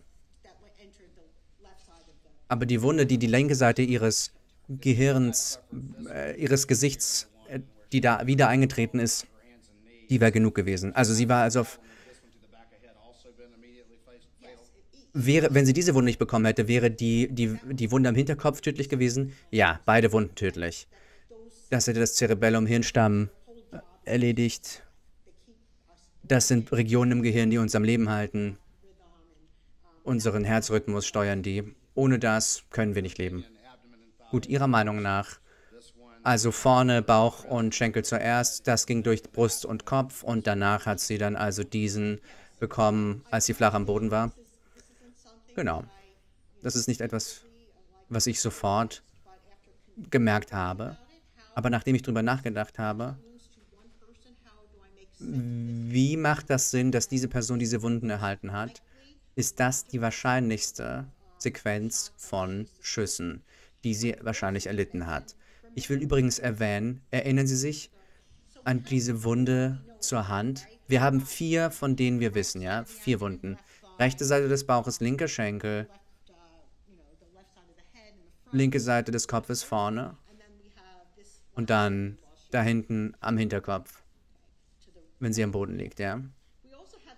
Wir haben ja auch diese zusätzliche Wunde am linken Handgelenk, die ein bisschen höher ausgetreten ist. Ist es möglich, dass sie, dass ihr Arm irgendwo da hing und angeschossen worden ist? Ja, aber erinnern Sie sich, wir wissen, dass sie wahrscheinlich große Schmerzen hatte im Bauch von diesem Schuss, der durch den Bauch ist. Wenn sie also nach vorne gebeugt ist, wo wäre ihr Arm wahrscheinlich? Sie können sich vorstellen, dass sie wahrscheinlich, dass ihre Hand genau da ist. Das bedeutet also, wenn ihre Hand dort ist, an ihrem Bauch, dass die Wunde, die, die das Handgelenk da eintreten und da verlassen kann und da sich fortsetzen kann. Ich weiß nicht, ob das passiert ist, aber ich habe fünf Wunden, Schusswunden beschrieben, aber ich glaube, die linke, die Wunde an der linken Hand hätte auch durch, anderen, durch einen anderen Schuss passieren können, tatsächlich. Nach und diese Wunde, dass, die, dass, dass sie ihre Hand hatte, das, das stimmt überein mit dem, was Sie beschrieben haben davor. Ich kann das nicht 100% sagen, aber es würde dem nicht widersprechen.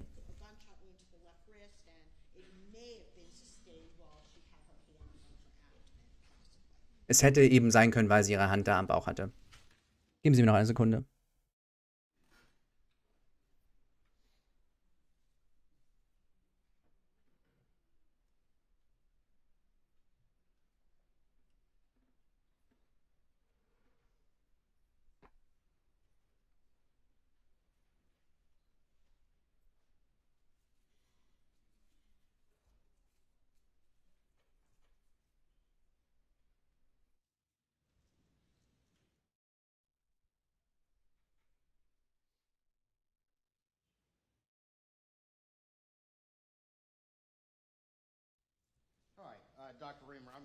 Dr. Riemer, ich zeige Ihnen ein paar Bilder, wenn Sie sich da nochmal hinstellen könnten. Die sind wirklich sehr auch ähm, grafischer Natur. Ich zeige Ihnen, ich gebe sie Ihnen mal so. 488, State 488. 489, Anschauungsmaterial des Staates.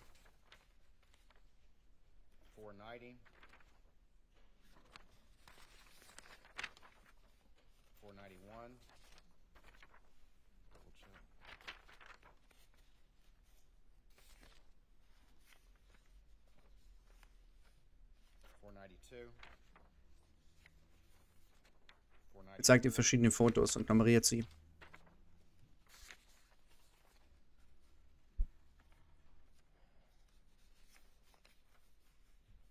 Beziehungsweise zählt die Nummern auf.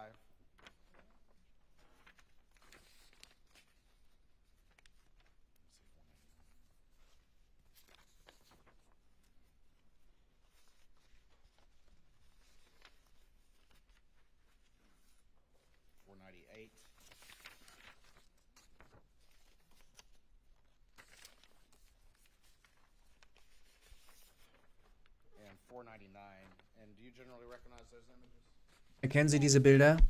Ja. Sind es Autopsiefotos, die Sie gemacht haben? Von Maggie Murdoch? Ja, das sind Fotos, die ich gemacht habe von Maggie Murdochs Wunden. Haben Sie ihnen geholfen, der Jury die Verletzung zu erklären? Ich würde gerne in diese Fotos in die Beweise aufnehmen. 490, 491, 492, 493, 495, 498, and 499. Kein Einspruch, sind zugelassen. Können Sie bitte, können Sie bitte Ihren, Ihren Stecken nehmen und wir gehen jetzt so schnell durch, wie wir können.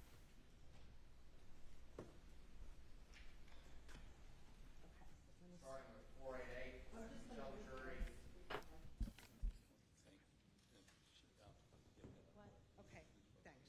Okay, so, Just stand on this real quick so yeah, that, oh, got it, okay, that's good.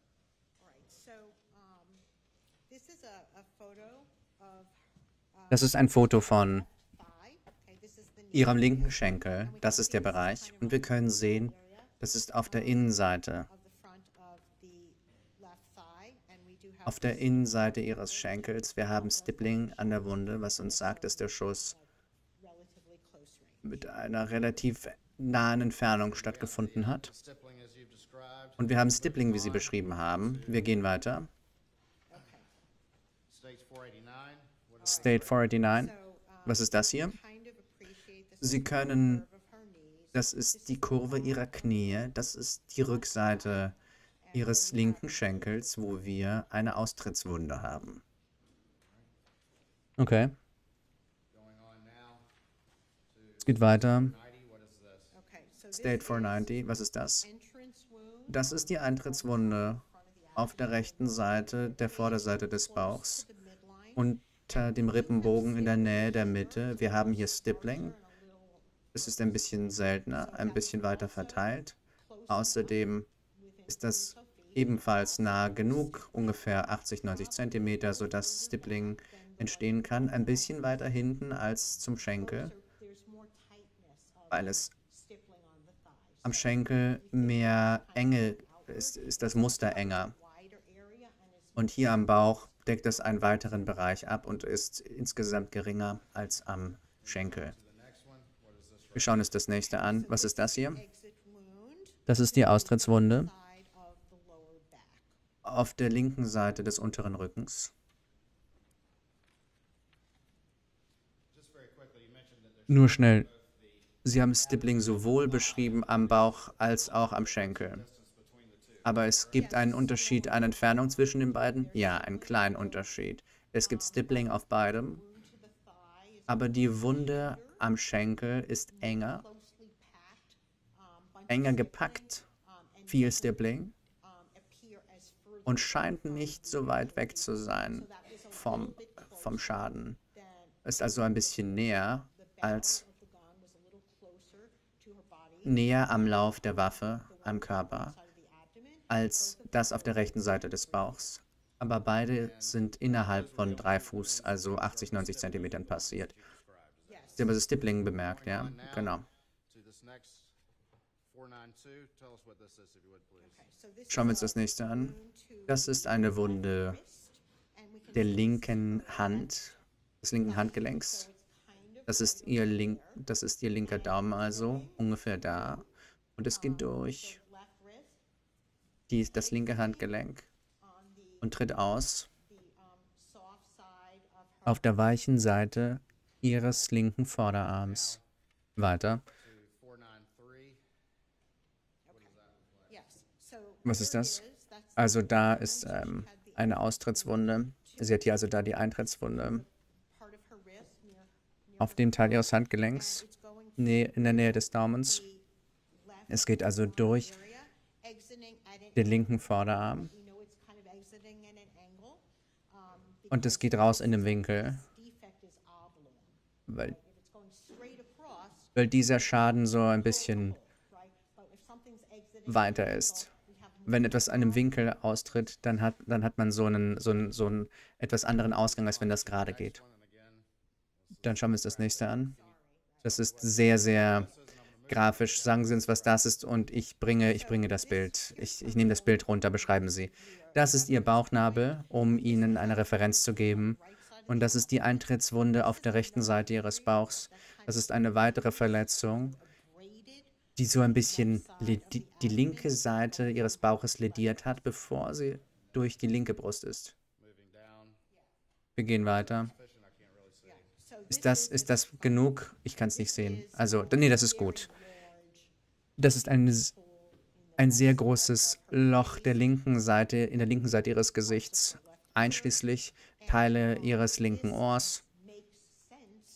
Das macht Sinn, wenn das also eine Fortführung der Wunde durch die linke Brust ist. Ich bin sicher, dass das alles Resultat eines einer einzelnen Kugel ist, eines einzelnen Schusses, der gefeuert worden ist. Und wir sehen hier eine, eine, eine Prellung, die ist nicht in die linke Schulter eingedrungen, aber wenn es so nach oben wandert durch die Brust, wenn sie also nach vorne gebeugt ist, geht es also, beschädigt es also dieses Schlüsselbeinbereich hier, bevor es in die linke Seite ihres unteren Gesichts eindringt. All right, moving on. Gut weiter. And I'm going to go out of order just a bit. I'm at 499. Wir sind jetzt, äh, uh, ich verlasse ein bisschen die Ordnung. Können Sie bitte erklären, Entschuldigung, ich habe Probleme, was das darstellt. Ach ja, genau. Als ich die Autopsie gemacht habe, habe ich hier eine Wunde am linken Handgelenk und durch den Vorderarm und eine Wunde, die auf der linken Seite des Bauchs entlang geht. Ich kann nicht sicher sein. Ich kann nicht mit absoluter Sicherheit, dass ich kann nicht mit absoluter Sicherheit sagen, dass ihre Hand am Bauch war, als sie die Wunde bekommen hat an ihrem Torso. Aber wenn die Ha- Hand am Bauch war, was sie hätte sein können, nachdem sie durch den Bauch äh, am Bauch angeschossen wurde, wäre das ja eine perfekte Linie. Durch ihr Handgelenk raus aus dem linken Vorderarm und weiter in einer nach oben führenden Bewegung, bevor sie auf fatale, auf letale Art in ihren Kopf eindringt. Also ich habe ein Foto gemacht von dem Handgelenk und dem Schrappen auf der linken Seite gemeinsam, weil es mir schien, basierend auf meiner Erfahrung von Dekaden, dass es vielleicht einen einzelnen Schuss darstellen könnte. Vielleicht war der an der Hand ein einzelner Schuss und in meinem Bericht beschreibe ich sie als zwei verschiedene Schüsse, weil ich nicht hundertprozentig sicher war, dass es vom selben Schuss herrührt. Wir haben also vier Wunden im Körper, also fünf Wunden, aber wenn wir die linke Hand als einzeln werten, dann sind es fünf, aber wenn das verbunden ist mit, mit einem anderen Schuss, dann gibt es nur vier Schüsse, die gefeuert worden sind. Und schließlich, states 498. okay, so this is das ist also eine,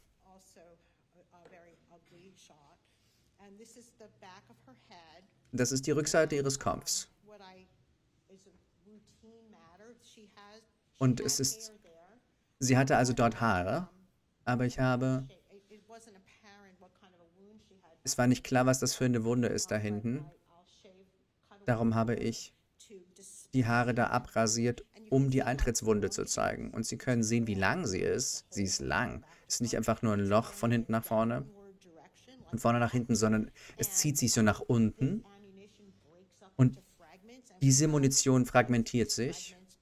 Und wir haben diese Fragmente, die auf der Oberseite ihres Rückens entlang durch die Haut dringen und entlang gehen und durch das Fettgewebe und in den unteren Rücken eindringen. Und dieser, bevor es den Rücken getroffen hat, ging es durch den Schädel auf der Rückseite ihres, ihres Kopfs und durch den Hirnstamm und das Cerebellum. Vielen Dank, Dr. Riemer, wenn Sie sich setzen könnten und wir die Examinierung abschließen könnten.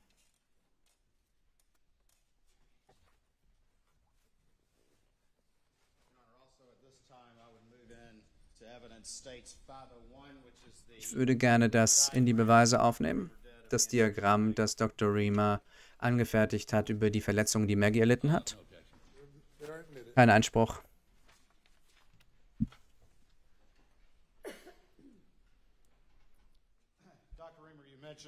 Dr. Riemer, Sie haben erwähnt, es gab einen kleinen Unterschied im Stippling Ihrer Bauch- und der Schenkelwunde.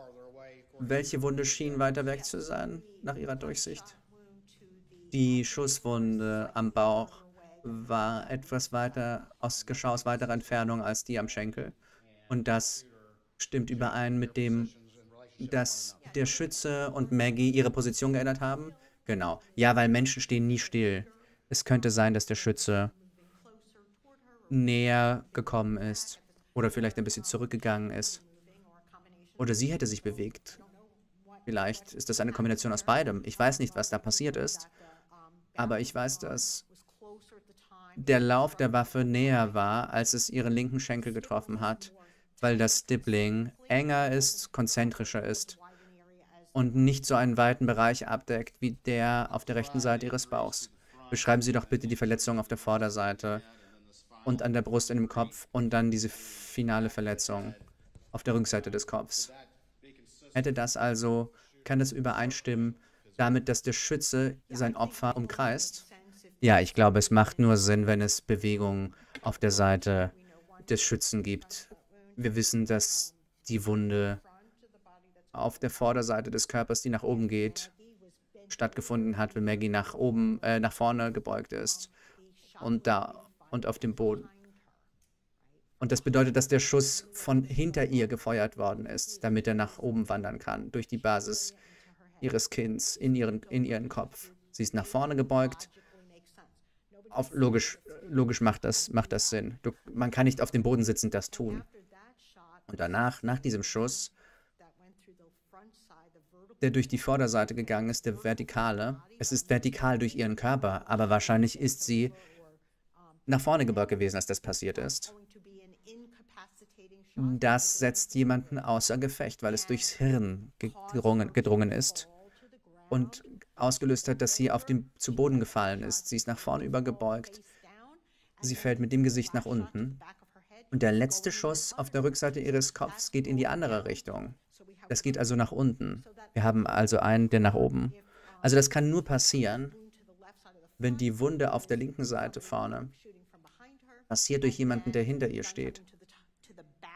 Und auf der Rückseite ihres Kopfs, die Wunde, die nach unten geht, passiert, dass sie am Boden liegt. Das heißt, jemand an ihrem Kopf steht. Gab es viel Blut in Maggies Bauch? Nicht so viel das Ding, was diese Wunden angeht, ist, es gibt einfach so viel Gewebezerstörung. Blut ist einfach in allen Geweben, in allem Gewebe. Es ist nicht so, als manchmal zum Beispiel mit einem kleinen Kaliber gibt es ein einzelnes, ein, ein, ein einzigen, eine einzige Wunde, eine klein definierte Wunde. Aber in diesem Fall gab es so viel Zerstörung von Gewebe, es gab sehr viel Blut im Gewebe, aber nicht etwas, was ich messen könnte. Die Abwesenheit von Blut im Bauch, sagt Ihnen das was? darüber aus, wie, wie schnell das nacheinander passiert ist? Ja. Also, wenn die Wunde am Bauch passiert und jemand weggeht, hätte sie mehr Blutung gehabt aus diesem Gewebe in die Bauchhöhle. Bei Maggie und Paul haben sie Beobachtungen gemacht, was, was sie im Bauch hatten. Ein Teil der Autopsie ist, ich schaue mir nicht nur die Wunden an, ich examiniere alle internen, äh, in, alle inneren Organe. Und ich habe mir die Pankreas und die Nieren also angesehen. Ich schaue mir also nicht nur die, die Außenseite des Körpers an. Ich schaue mir alles an, gucke mir alle inneren Organe an, zerschneide alle diese Organe, seziere sie. Und als ich mir den Bauch angesehen habe, wenn ich mir den Bauch ansehe, dokumentiere ich den Inhalt des Bauchs. Beide hatten viel neulich verdaute Essensreste gehabt. Sie hatten einen, voll, einen Bauch voller Essen. Und waren die, haben die übereinander gestimmt? Ja, die haben identisch ausgesehen. Die waren so. Man konnte nicht genau sagen, was es ist, aber ich habe jetzt kein Mais gesehen oder sowas oder grüne Bohnen oder so. Aber was auch immer es war, es war identisch untereinander. Und ich glaube, sie hatte 600 Milliliter. 450 Milliliter ist ein Pfund, also so fast so anderthalb Pfund Essen. Und er hatte 500 Milliliter, was ein bisschen mehr ist als ein Pfund. Aber es hat ähnlich ausgesehen, als hätten sie zusammen gegessen. Sie haben ausgesagt, dass es keine Verteidigungswunden an Paul gibt. Haben Sie Verteidigungswunden an Maggie beobachtet? Nein. Nicht, dass eine, nicht, was eine Verteidigungswunde anzeigen würde. Haben Sie Schäden an Ihren Fingernägeln bemerkt? Als wär, wie als wäre sie in einem Kampf gewesen mit ihrem Angreifer? Nein. Das ist auch Teil der Autopsie. Zusätzlich zum Sammeln von Fingernägeln schaue ich mir an, ob ein Fingernagel zerbrochen ist, dass es Gewebe, ob es Blut oder Gewebe unter den Fingernägeln gibt. Und sie hatte keinerlei Beweise von Material visuell unter ihren Fingernägeln. Was ist mit ihrer Toxikologie? Hatte sie irgendwas in ihrem System außer Alkohol? Sie hatte nur Koffein. Wie Paul. Und sonst kein Alkohol. Oder andere Drogen. Außer Koffein. Dr. Reamer, in Ihrer professionellen Meinung als Expertin, was war der Grund für Pauls Tod nach medizinischem, vor medizinischem Gesichtspunkt? Shotgunwunden, Schrotflintenwunden, wie ich es gesagt habe, in die Brust und in den Kopf. Und was war die Art des Todes? Es war, es war ein Mord, was bedeutet, dass der Tod von jemand anderem ausgelöst worden ist. Dr. Rima, in Ihrer Expertenmeinung, was, was ist zu einem vernünftigen Grad an medizinischer Sicherheit der Grund für Maggies Ableben? Maggie Murdoch ist gestorben durch mehrere Schusswunden. Was war die Art des Todes? Die Art des Todes war Mord. Tod durch Hände eines anderen. Tod durch Hände eines anderen.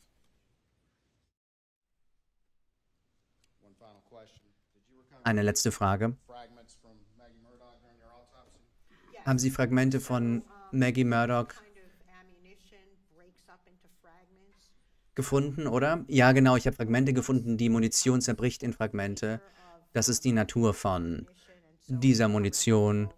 Also ich habe mehrere Fragmente von Projektilen gefunden. Ich zeige Ihnen, was als, als Beweise aufgenommen ist. Erkennen Sie das? Ja, genau, das sind Fragmente, die ich aus Maggies Autopsie gewonnen habe.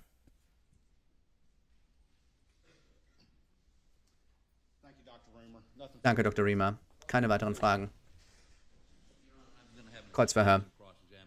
Euer Ehren, ich habe exzessives Kreuzverhör vor. Wollen wir das jetzt beginnen oder morgen? Beginnen wir es doch im Morgen. Ich glaube, es ist, es ist Viertel vor sechs, kann locker bis sieben dauern.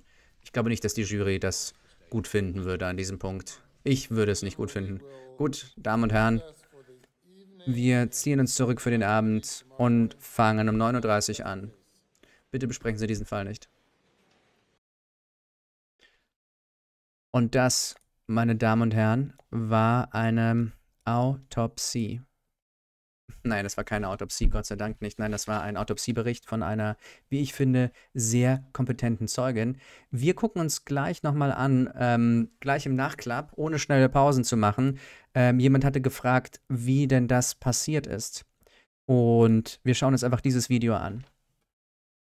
Was passiert ist, ist, dass Paul also im Feedroom ist, in den Kennels. Und, oh ja, diesen Punkt muss ich da wegmachen. Und dass jetzt dieser, dieser Schuss kommt, das ist der erste Schuss. Ich gehe nochmal ein bisschen zurück, weil das geht sehr, sehr schnell. Also, Paul ist also in dem Feedroom. Er merkt, dass etwas hinter ihm ist und er dreht sich um und ist mit der rechten Schulter leicht zum, zum Schießenden geneigt. Boom, der erste Schuss kommt von vorne und trifft ihn in die Brust. Dann das war, das war der erste Schrotflintenschuss. Dann, Paul geht raus aus der Tür. Der Täter will gerade die Waffe ablegen, entscheidet sich aber für das Gegen äh, entscheidet sich aber weiter zu schießen, weil er merkt, dass Paul kommt und setzt den zweiten Schuss an. Jetzt hier den zweiten Schuss von unten an, der durch die Schulter geht und durch den Kopf und durch das Gehirn und bekannte, benannte, gerade äh, gerade benannte Schäden auslöst. Das äh, hier, hier ist die, ist die, ist die Linie. Dann gehen wir weiter. Das war Paul. Und Paul landet schließlich so, wie er auch hier gefunden worden ist. Das ist Paul. Aus einer anderen Perspektive. Jetzt kommen wir zu Maggie. Vermutlich sowas wie um 10 vor, 10 vor 9 passiert das Ganze. Sie hört die Schüsse in diesem Szenario. Der Schütze greift sich die andere Waffe, die dort angelehnt ist. Diesmal eine Art ähm, AR. Das wird zwar als Sturmgewehr beschrieben, aber ist nicht ganz das. Sie kriegt einen ersten Schuss ab. Ah ja, sie kriegt zwei Schüsse ab. Das, die, sind, die gehen schnell hintereinander. Ein, zwei Schüsse waren das. Ein Schuss geht quasi in die. Wir schauen das nochmal an. Eins, zwei. Ein Schuss in den, in den Schenkel. Oder ein Schuss in den Bauch und ein Schuss in den Schenkel. Aus einer, sie bewegt sich vorwärts, der Täter bewegt sich vorwärts. Dann um, umtigert der Täter sie. Das ist ein bisschen schwer zu sehen, weil das, weil das dieselbe Farbe hat. Der Täter steht gerade hier. Also das heißt, die ersten Schüsse kommen von hier. Dann geht der Täter hier rum, steht gerade hier und gibt diesen Schuss ab, wo ich glaube, jemand im Chat meinte, das ist sehr, sehr schwer zu folgen. Dieser Schuss geht also dann durch ihren Körper. Und zwar von hier. Das war diese Bewegung, wo sie sozusagen am Boden zusammenbricht. Das heißt, auf den Knien war sie doch am Leben, wenn auch unter starken Schmerzen. Und dieser letzte Schuss, der quasi hier eindringt, durch die Brust geht, durch den Kopf geht und der tödlich ist, streckt sie nieder. Und der letzte Schuss, der in dieser Aufzählung sechste Schuss, aber laut Dr. Riemer vielleicht siebte Schuss, fand also, findet also hier statt. Da sieht man es da ganz rechts nicht mehr. Der Täter steht also hier, rechter Hand, und macht noch einen Schuss, der quasi von hier geht. Der sie am Hinterkopf trifft und sie im Rücken trifft. Und jetzt sehen wir noch ein bisschen im Detail die ersten beiden Schuss, weil das sehr schnell ging.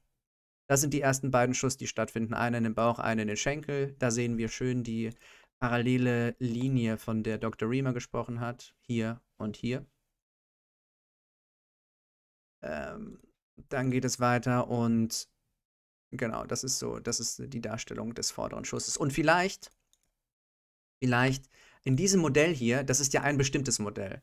In diesem Modell hier ist es so, dass der, dass quasi der, der, der dritte Schuss, glaube ich, ist das, oder der vierte Schuss, dass der auch verantwortlich ist für die Verletzung in der Hand. Das ist das Interessante. Während in dem anderen Modell während in dem anderen Modell die Verletzung in der Hand, ich glaube, eher dem Schuss zugerechnet wird. Das heißt, wenn sie, ähm, oh nein, sogar noch einem davor. Dem Schuss.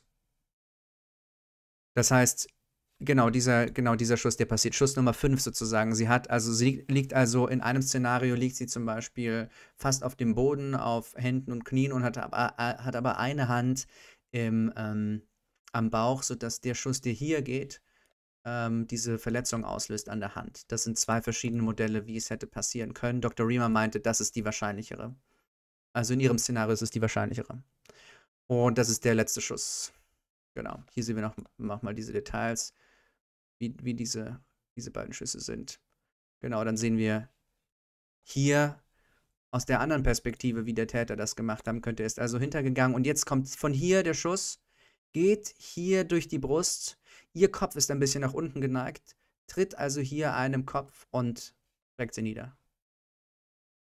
Das ist, was Dr. Riemer gerade beschrieben hat. Da sehen wir es nochmal schön. Also, was heißt schön? Das ist natürlich furchtbar, aber ihr versteht, was ich meine. Das ist anschaulich. Der Schuss geht hier rein, geht durch die Brust, tritt aus und tritt nochmal ein und geht durch das Gewebe in ihren Kopf rein. Ein fataler Schuss, der von hinten vielleicht stattgefunden hat da. Oder laut Riemer sogar ganz bestimmt von hinten stattgefunden hat. So wie dazu.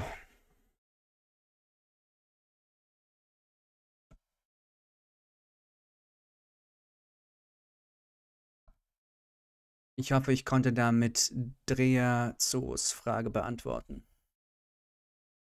Ähm, ja.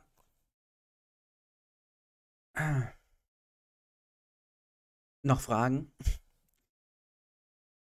Das war, ähm, das war natürlich jetzt ein ähm, äh, harter Tobak. Ich hab, wir haben mit Bundy angefangen und haben jetzt mit dieser Fallanalyse abgeschlossen. Ähm, bitteschön. äh, ich glaube, ich finde das ähm, ganz hervorragend. Ähm, ich finde es ganz hervorragend, dass ihr, dass ihr noch da seid und dass ich euch nicht, nicht verschrecke mit dem, mit dem, was wir hier machen. Also das Video ist jetzt, das Video sage ich, der Stream ist jetzt drei Stunden lang. Leute, das war's. Wir können gerne noch über das Gesehene sprechen. Ich hänge gerne noch fünf Minuten mit euch rum. Jemand hat gefragt, ob ich heute Nacht gut schlafen werde. Die Antwort ist, ich hoffe, normalerweise. Also das einzige Problem, was ich mit, diesen, mit, dem, mit dem Übersetzen habe, ist, dass wenn ich jetzt zum Einschlafen noch irgendein Video gucke oder wenn ich jetzt noch eine Folge Columbo gucke vor dem Einschlafen auf Englisch, dass ich anfange, in meinem Kopf zu über, auf Deutsch zu übersetzen, was der gute Detective da sagt. Anstatt einfach zuzuhören, weil ich verstehe es ja. Ich muss es, ich muss es für mich nicht übersetzen. Ich spreche Englisch. Und ich fange dann in meinem Kopf, geht die Stimme los. Ja, ja, eine Sache noch. Und so, nee, nee, nee, nee, nee, nee, nee. Hör Peter Falk zu. Ähm, genau. Also, ähm, ich dank Sinfonies Beitrag und natürlich euer aller Beitrag ähm, werde ich jetzt mir diese Daten, die hinter der Paywall von ähm, Ted Bundy holen und werde sie aufarbeiten und werde mal versuchen, die ähm, werde mal versuchen, ähm, euch das am Freitag zu geben. Ähm, es war wirklich sehr, sehr schön mit euch. Also ich hänge hier rum, ich mache mir Fahrstuhlmusik an, because why not? Äh, hier kam gerade die Frage in. Äh, oh, das ist hier nicht gut. Hier kam gerade die Frage auf, in welchen Sprachen ich denke oder in welchen Sprachen ich träume. Ich habe bereits in, ich habe bereits in mehreren Sprachen geträumt. Ich habe sogar in Sprachen geträumt, die ich nicht spreche. Ich glaube, ich habe in allen Sprachen geträumt von die ich, ein, die ich ein bisschen kann oder kann. Ich habe in Deutsch geträumt, ich habe in Russisch geträumt, ich habe in Japanisch mal geträumt. Ich lerne Japanisch. Ähm, und Englisch natürlich auch. Aber ich träume meistens, meistens träume ich in Deutsch oder Russisch, interessanterweise.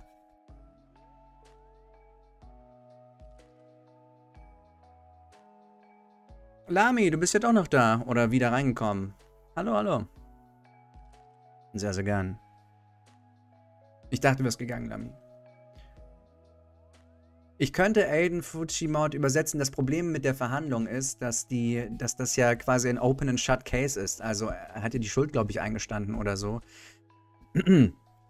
da gibt es nichts, sozusagen, ein, ein ähm, wie sagt man, also, was, da gibt es nichts zu, zu rätseln oder so, außer wie hat das jemand machen können, vor allem so ein Kind. So wie ich das wahrgenommen habe, ist die Verhandlung ähm, ist die Verhandlung dazu gedacht, Leute, Leuten, hinterbliebenen Angehörigen, Mitgliedern der Gemeinde, der Gemeinschaft eine Möglichkeit zu geben, sich zu äußern, sich Raum zu verschaffen, Trauerarbeit zu leisten. Das ist zwar super interessant und es ist sehr bewegend, aber es ist mir fast zu intim, wenn ihr versteht, was ich meine. Oh, ich habe keinen, ich habe keinen, keinen, ähm, ich bevorzuge keine Sprachen beim Träumen. Ich bevorzuge Träume, die, ich mag, ich mag gute Träume. An alle, die jetzt gehen wollen, ähm, au revoir. Wir sehen uns am Freitag. Ich weiß, ich weiß, Genie Line Jen. Ich gebe es euch aber leider am Freitag, wahrscheinlich 19 Uhr, vielleicht sogar 20 Uhr. Ich muss gucken, ich habe davor noch einen Termin. Ich hoffe, ich kann 20 Uhr schaffen. Allen gute Träume. Träumt nicht von, träumt nicht von Quatsch. Ähm. Genau, und ich mache mir jetzt einen Wecker auf 5 Minuten und hänge noch ein bisschen mit euch rum. Und komme ein bisschen runter selber. Ich bin auch total geladen. Puh, das war eine gute Zeugin. Kann man nicht anders sagen. Sehr sympathische Frau. Hier, sechs Minuten, so.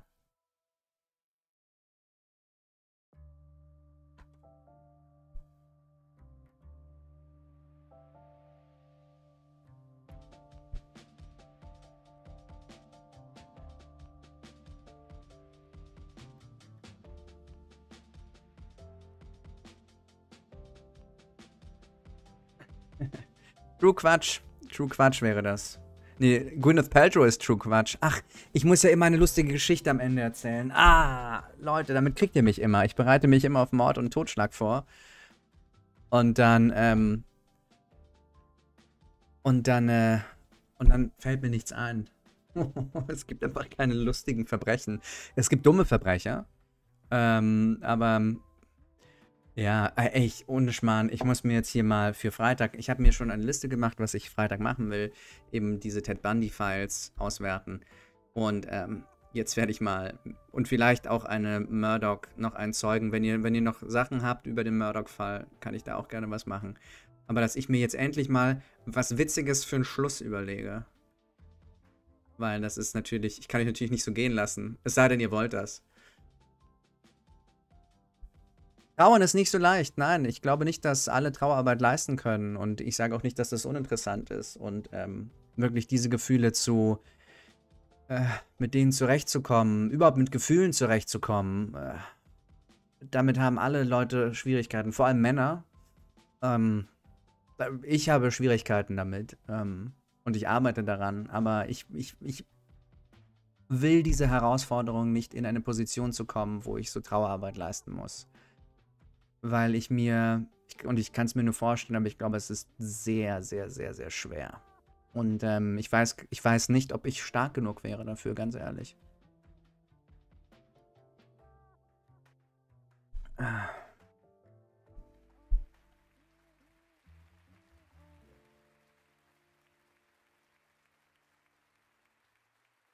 Hm.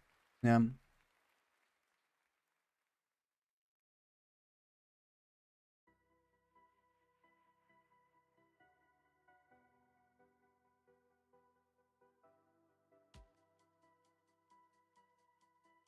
Ah ja, äh, Moche Kiepschen hat gefragt, ob das die Zeugin ist, die so hart in die Mangel genommen, genommen worden ist. Und ja, das ist sie. Ähm, Dick Harputlian ist äh, ziemlich übel gelaunt an dem Tag gewesen und äh, nimmt sie ziemlich ins Kreuzverhör.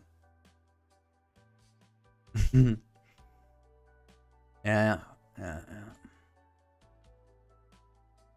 Trauerarbeit, ha? Not easy, not easy. Wie gesagt, ich habe, Gott sei Dank, ist dieser Kelch an mir ähm, vorübergegangen bisher. Also natürlich, äh, also meine Eltern leben zum Beispiel noch. Halleluja, Halleluja. Der Muppet Oper, meinst du etwa Dr. Spiegel, Sigrid?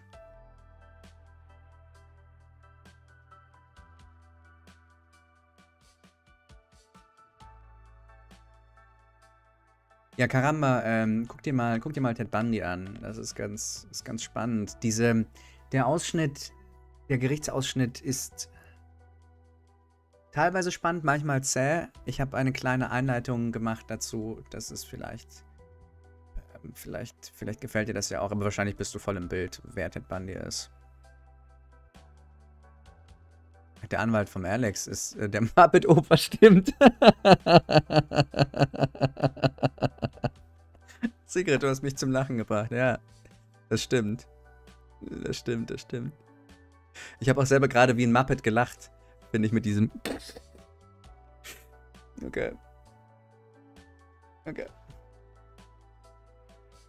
So, ich gehe nochmal in, in, Chat durch. Wenn ich, wenn ich nicht antworte, dann habe ich eure Frage nicht gelesen. Das heißt nicht, dass ich euch nicht mag oder so. Das heißt einfach nur, dass ich gerade mit was anderem beschäftigt war. Darum seht es mir nach. Seht es mir nach.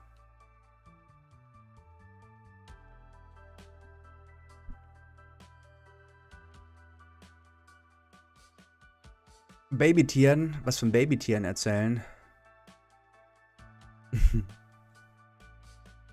oh, was kann ich denn Schönes von Babytieren erzählen? Am Ende, am Ende müssen wir. Oh, oh, Leute, ihr seid ja genial. Wisst ihr, was wir am Ende machen? Ich suche Tiervideos raus von süßen Tieren, die dumme Dinge tun oder süße Dinge tun und die gucken wir uns gemeinsam an. Das machen wir einfach am Ende. Wir gucken einfach Tiervideos am Ende, einfach um runterzukommen, weil das, was Witziges für den Schluss, habe ich aufgeschrieben, Tiervideos am Ende. Und die kommentieren wir live. Das wird gut. Das wird einfach gut. Wir machen irgendwelche süßen Pandas, die rumfallen, Welpen, die mit Klopapierrollen spielen, Katzen, die von Schränken fallen. Ähm, sowas. Einfach, einfach um wieder klarzukommen. Hundevideos, ähm, die durch Schnee tapsen und Schnee ist so tief, dass sie nicht, dass sie nicht weitergehen können. Ähm, Hunde, die so lange auf dem Boden liegen bleiben, bis sie endlich gekrault werden. Hunde, die nicht gebadet werden wollen und süß sind und schmollen, weil sie nicht gebadet werden wollen. All das, all das. Koalas, die high in den Bäumen rumhängen, weil Eu Eukalyptus äh, sie einfach richtig high macht und sie mit Verdauen und Essen beschäftigt sind den ganzen Tag. It's gonna be amazing. Mäuse, Mäuse, die niedliche Dinge tun. Ähm, vielleicht Eichhörnchen, wer weiß. So. Ich habe jetzt genug süße Tierszenarien euch gesagt. Hoffentlich, dass ich euch in die Nacht entlassen kann. Oh, erzähl mal was Lustiges vom Set, Lami. Ich sag dir, da tun sich Abgründe auf. Ich wünschte, ich könnte lustige Dinge erzählen vom Set. Aber das wollt ihr nicht wissen. Nein, ähm. Hm. Lustige Dinge am Set. Ähm. Naja, ein lustiges Ding am Set zum Beispiel ist, dass, ähm. Ah, nee, nee. Ich muss mir, ich muss mir, glaube ich, diese lustigen Dinge vom Set, ich muss mir genau überlegen, was ich erzähle oder was ich nicht erzähle. Das muss ich. Ich lege mir ein paar Anekdoten zurecht. Habe ich gerade nicht parat. Ich weiß nicht, welche ich erzählen kann, aber ähm, ähm, I'll manage, I'll manage. Okay, Freunde. Es war mir eine große Freude mit euch mal wieder. Vielen Dank, dass ihr so zahlreich erschienen seid. Ähm, habt einen schönen Abend. Oh, schon wieder 20 nach 10. Jesus Christus.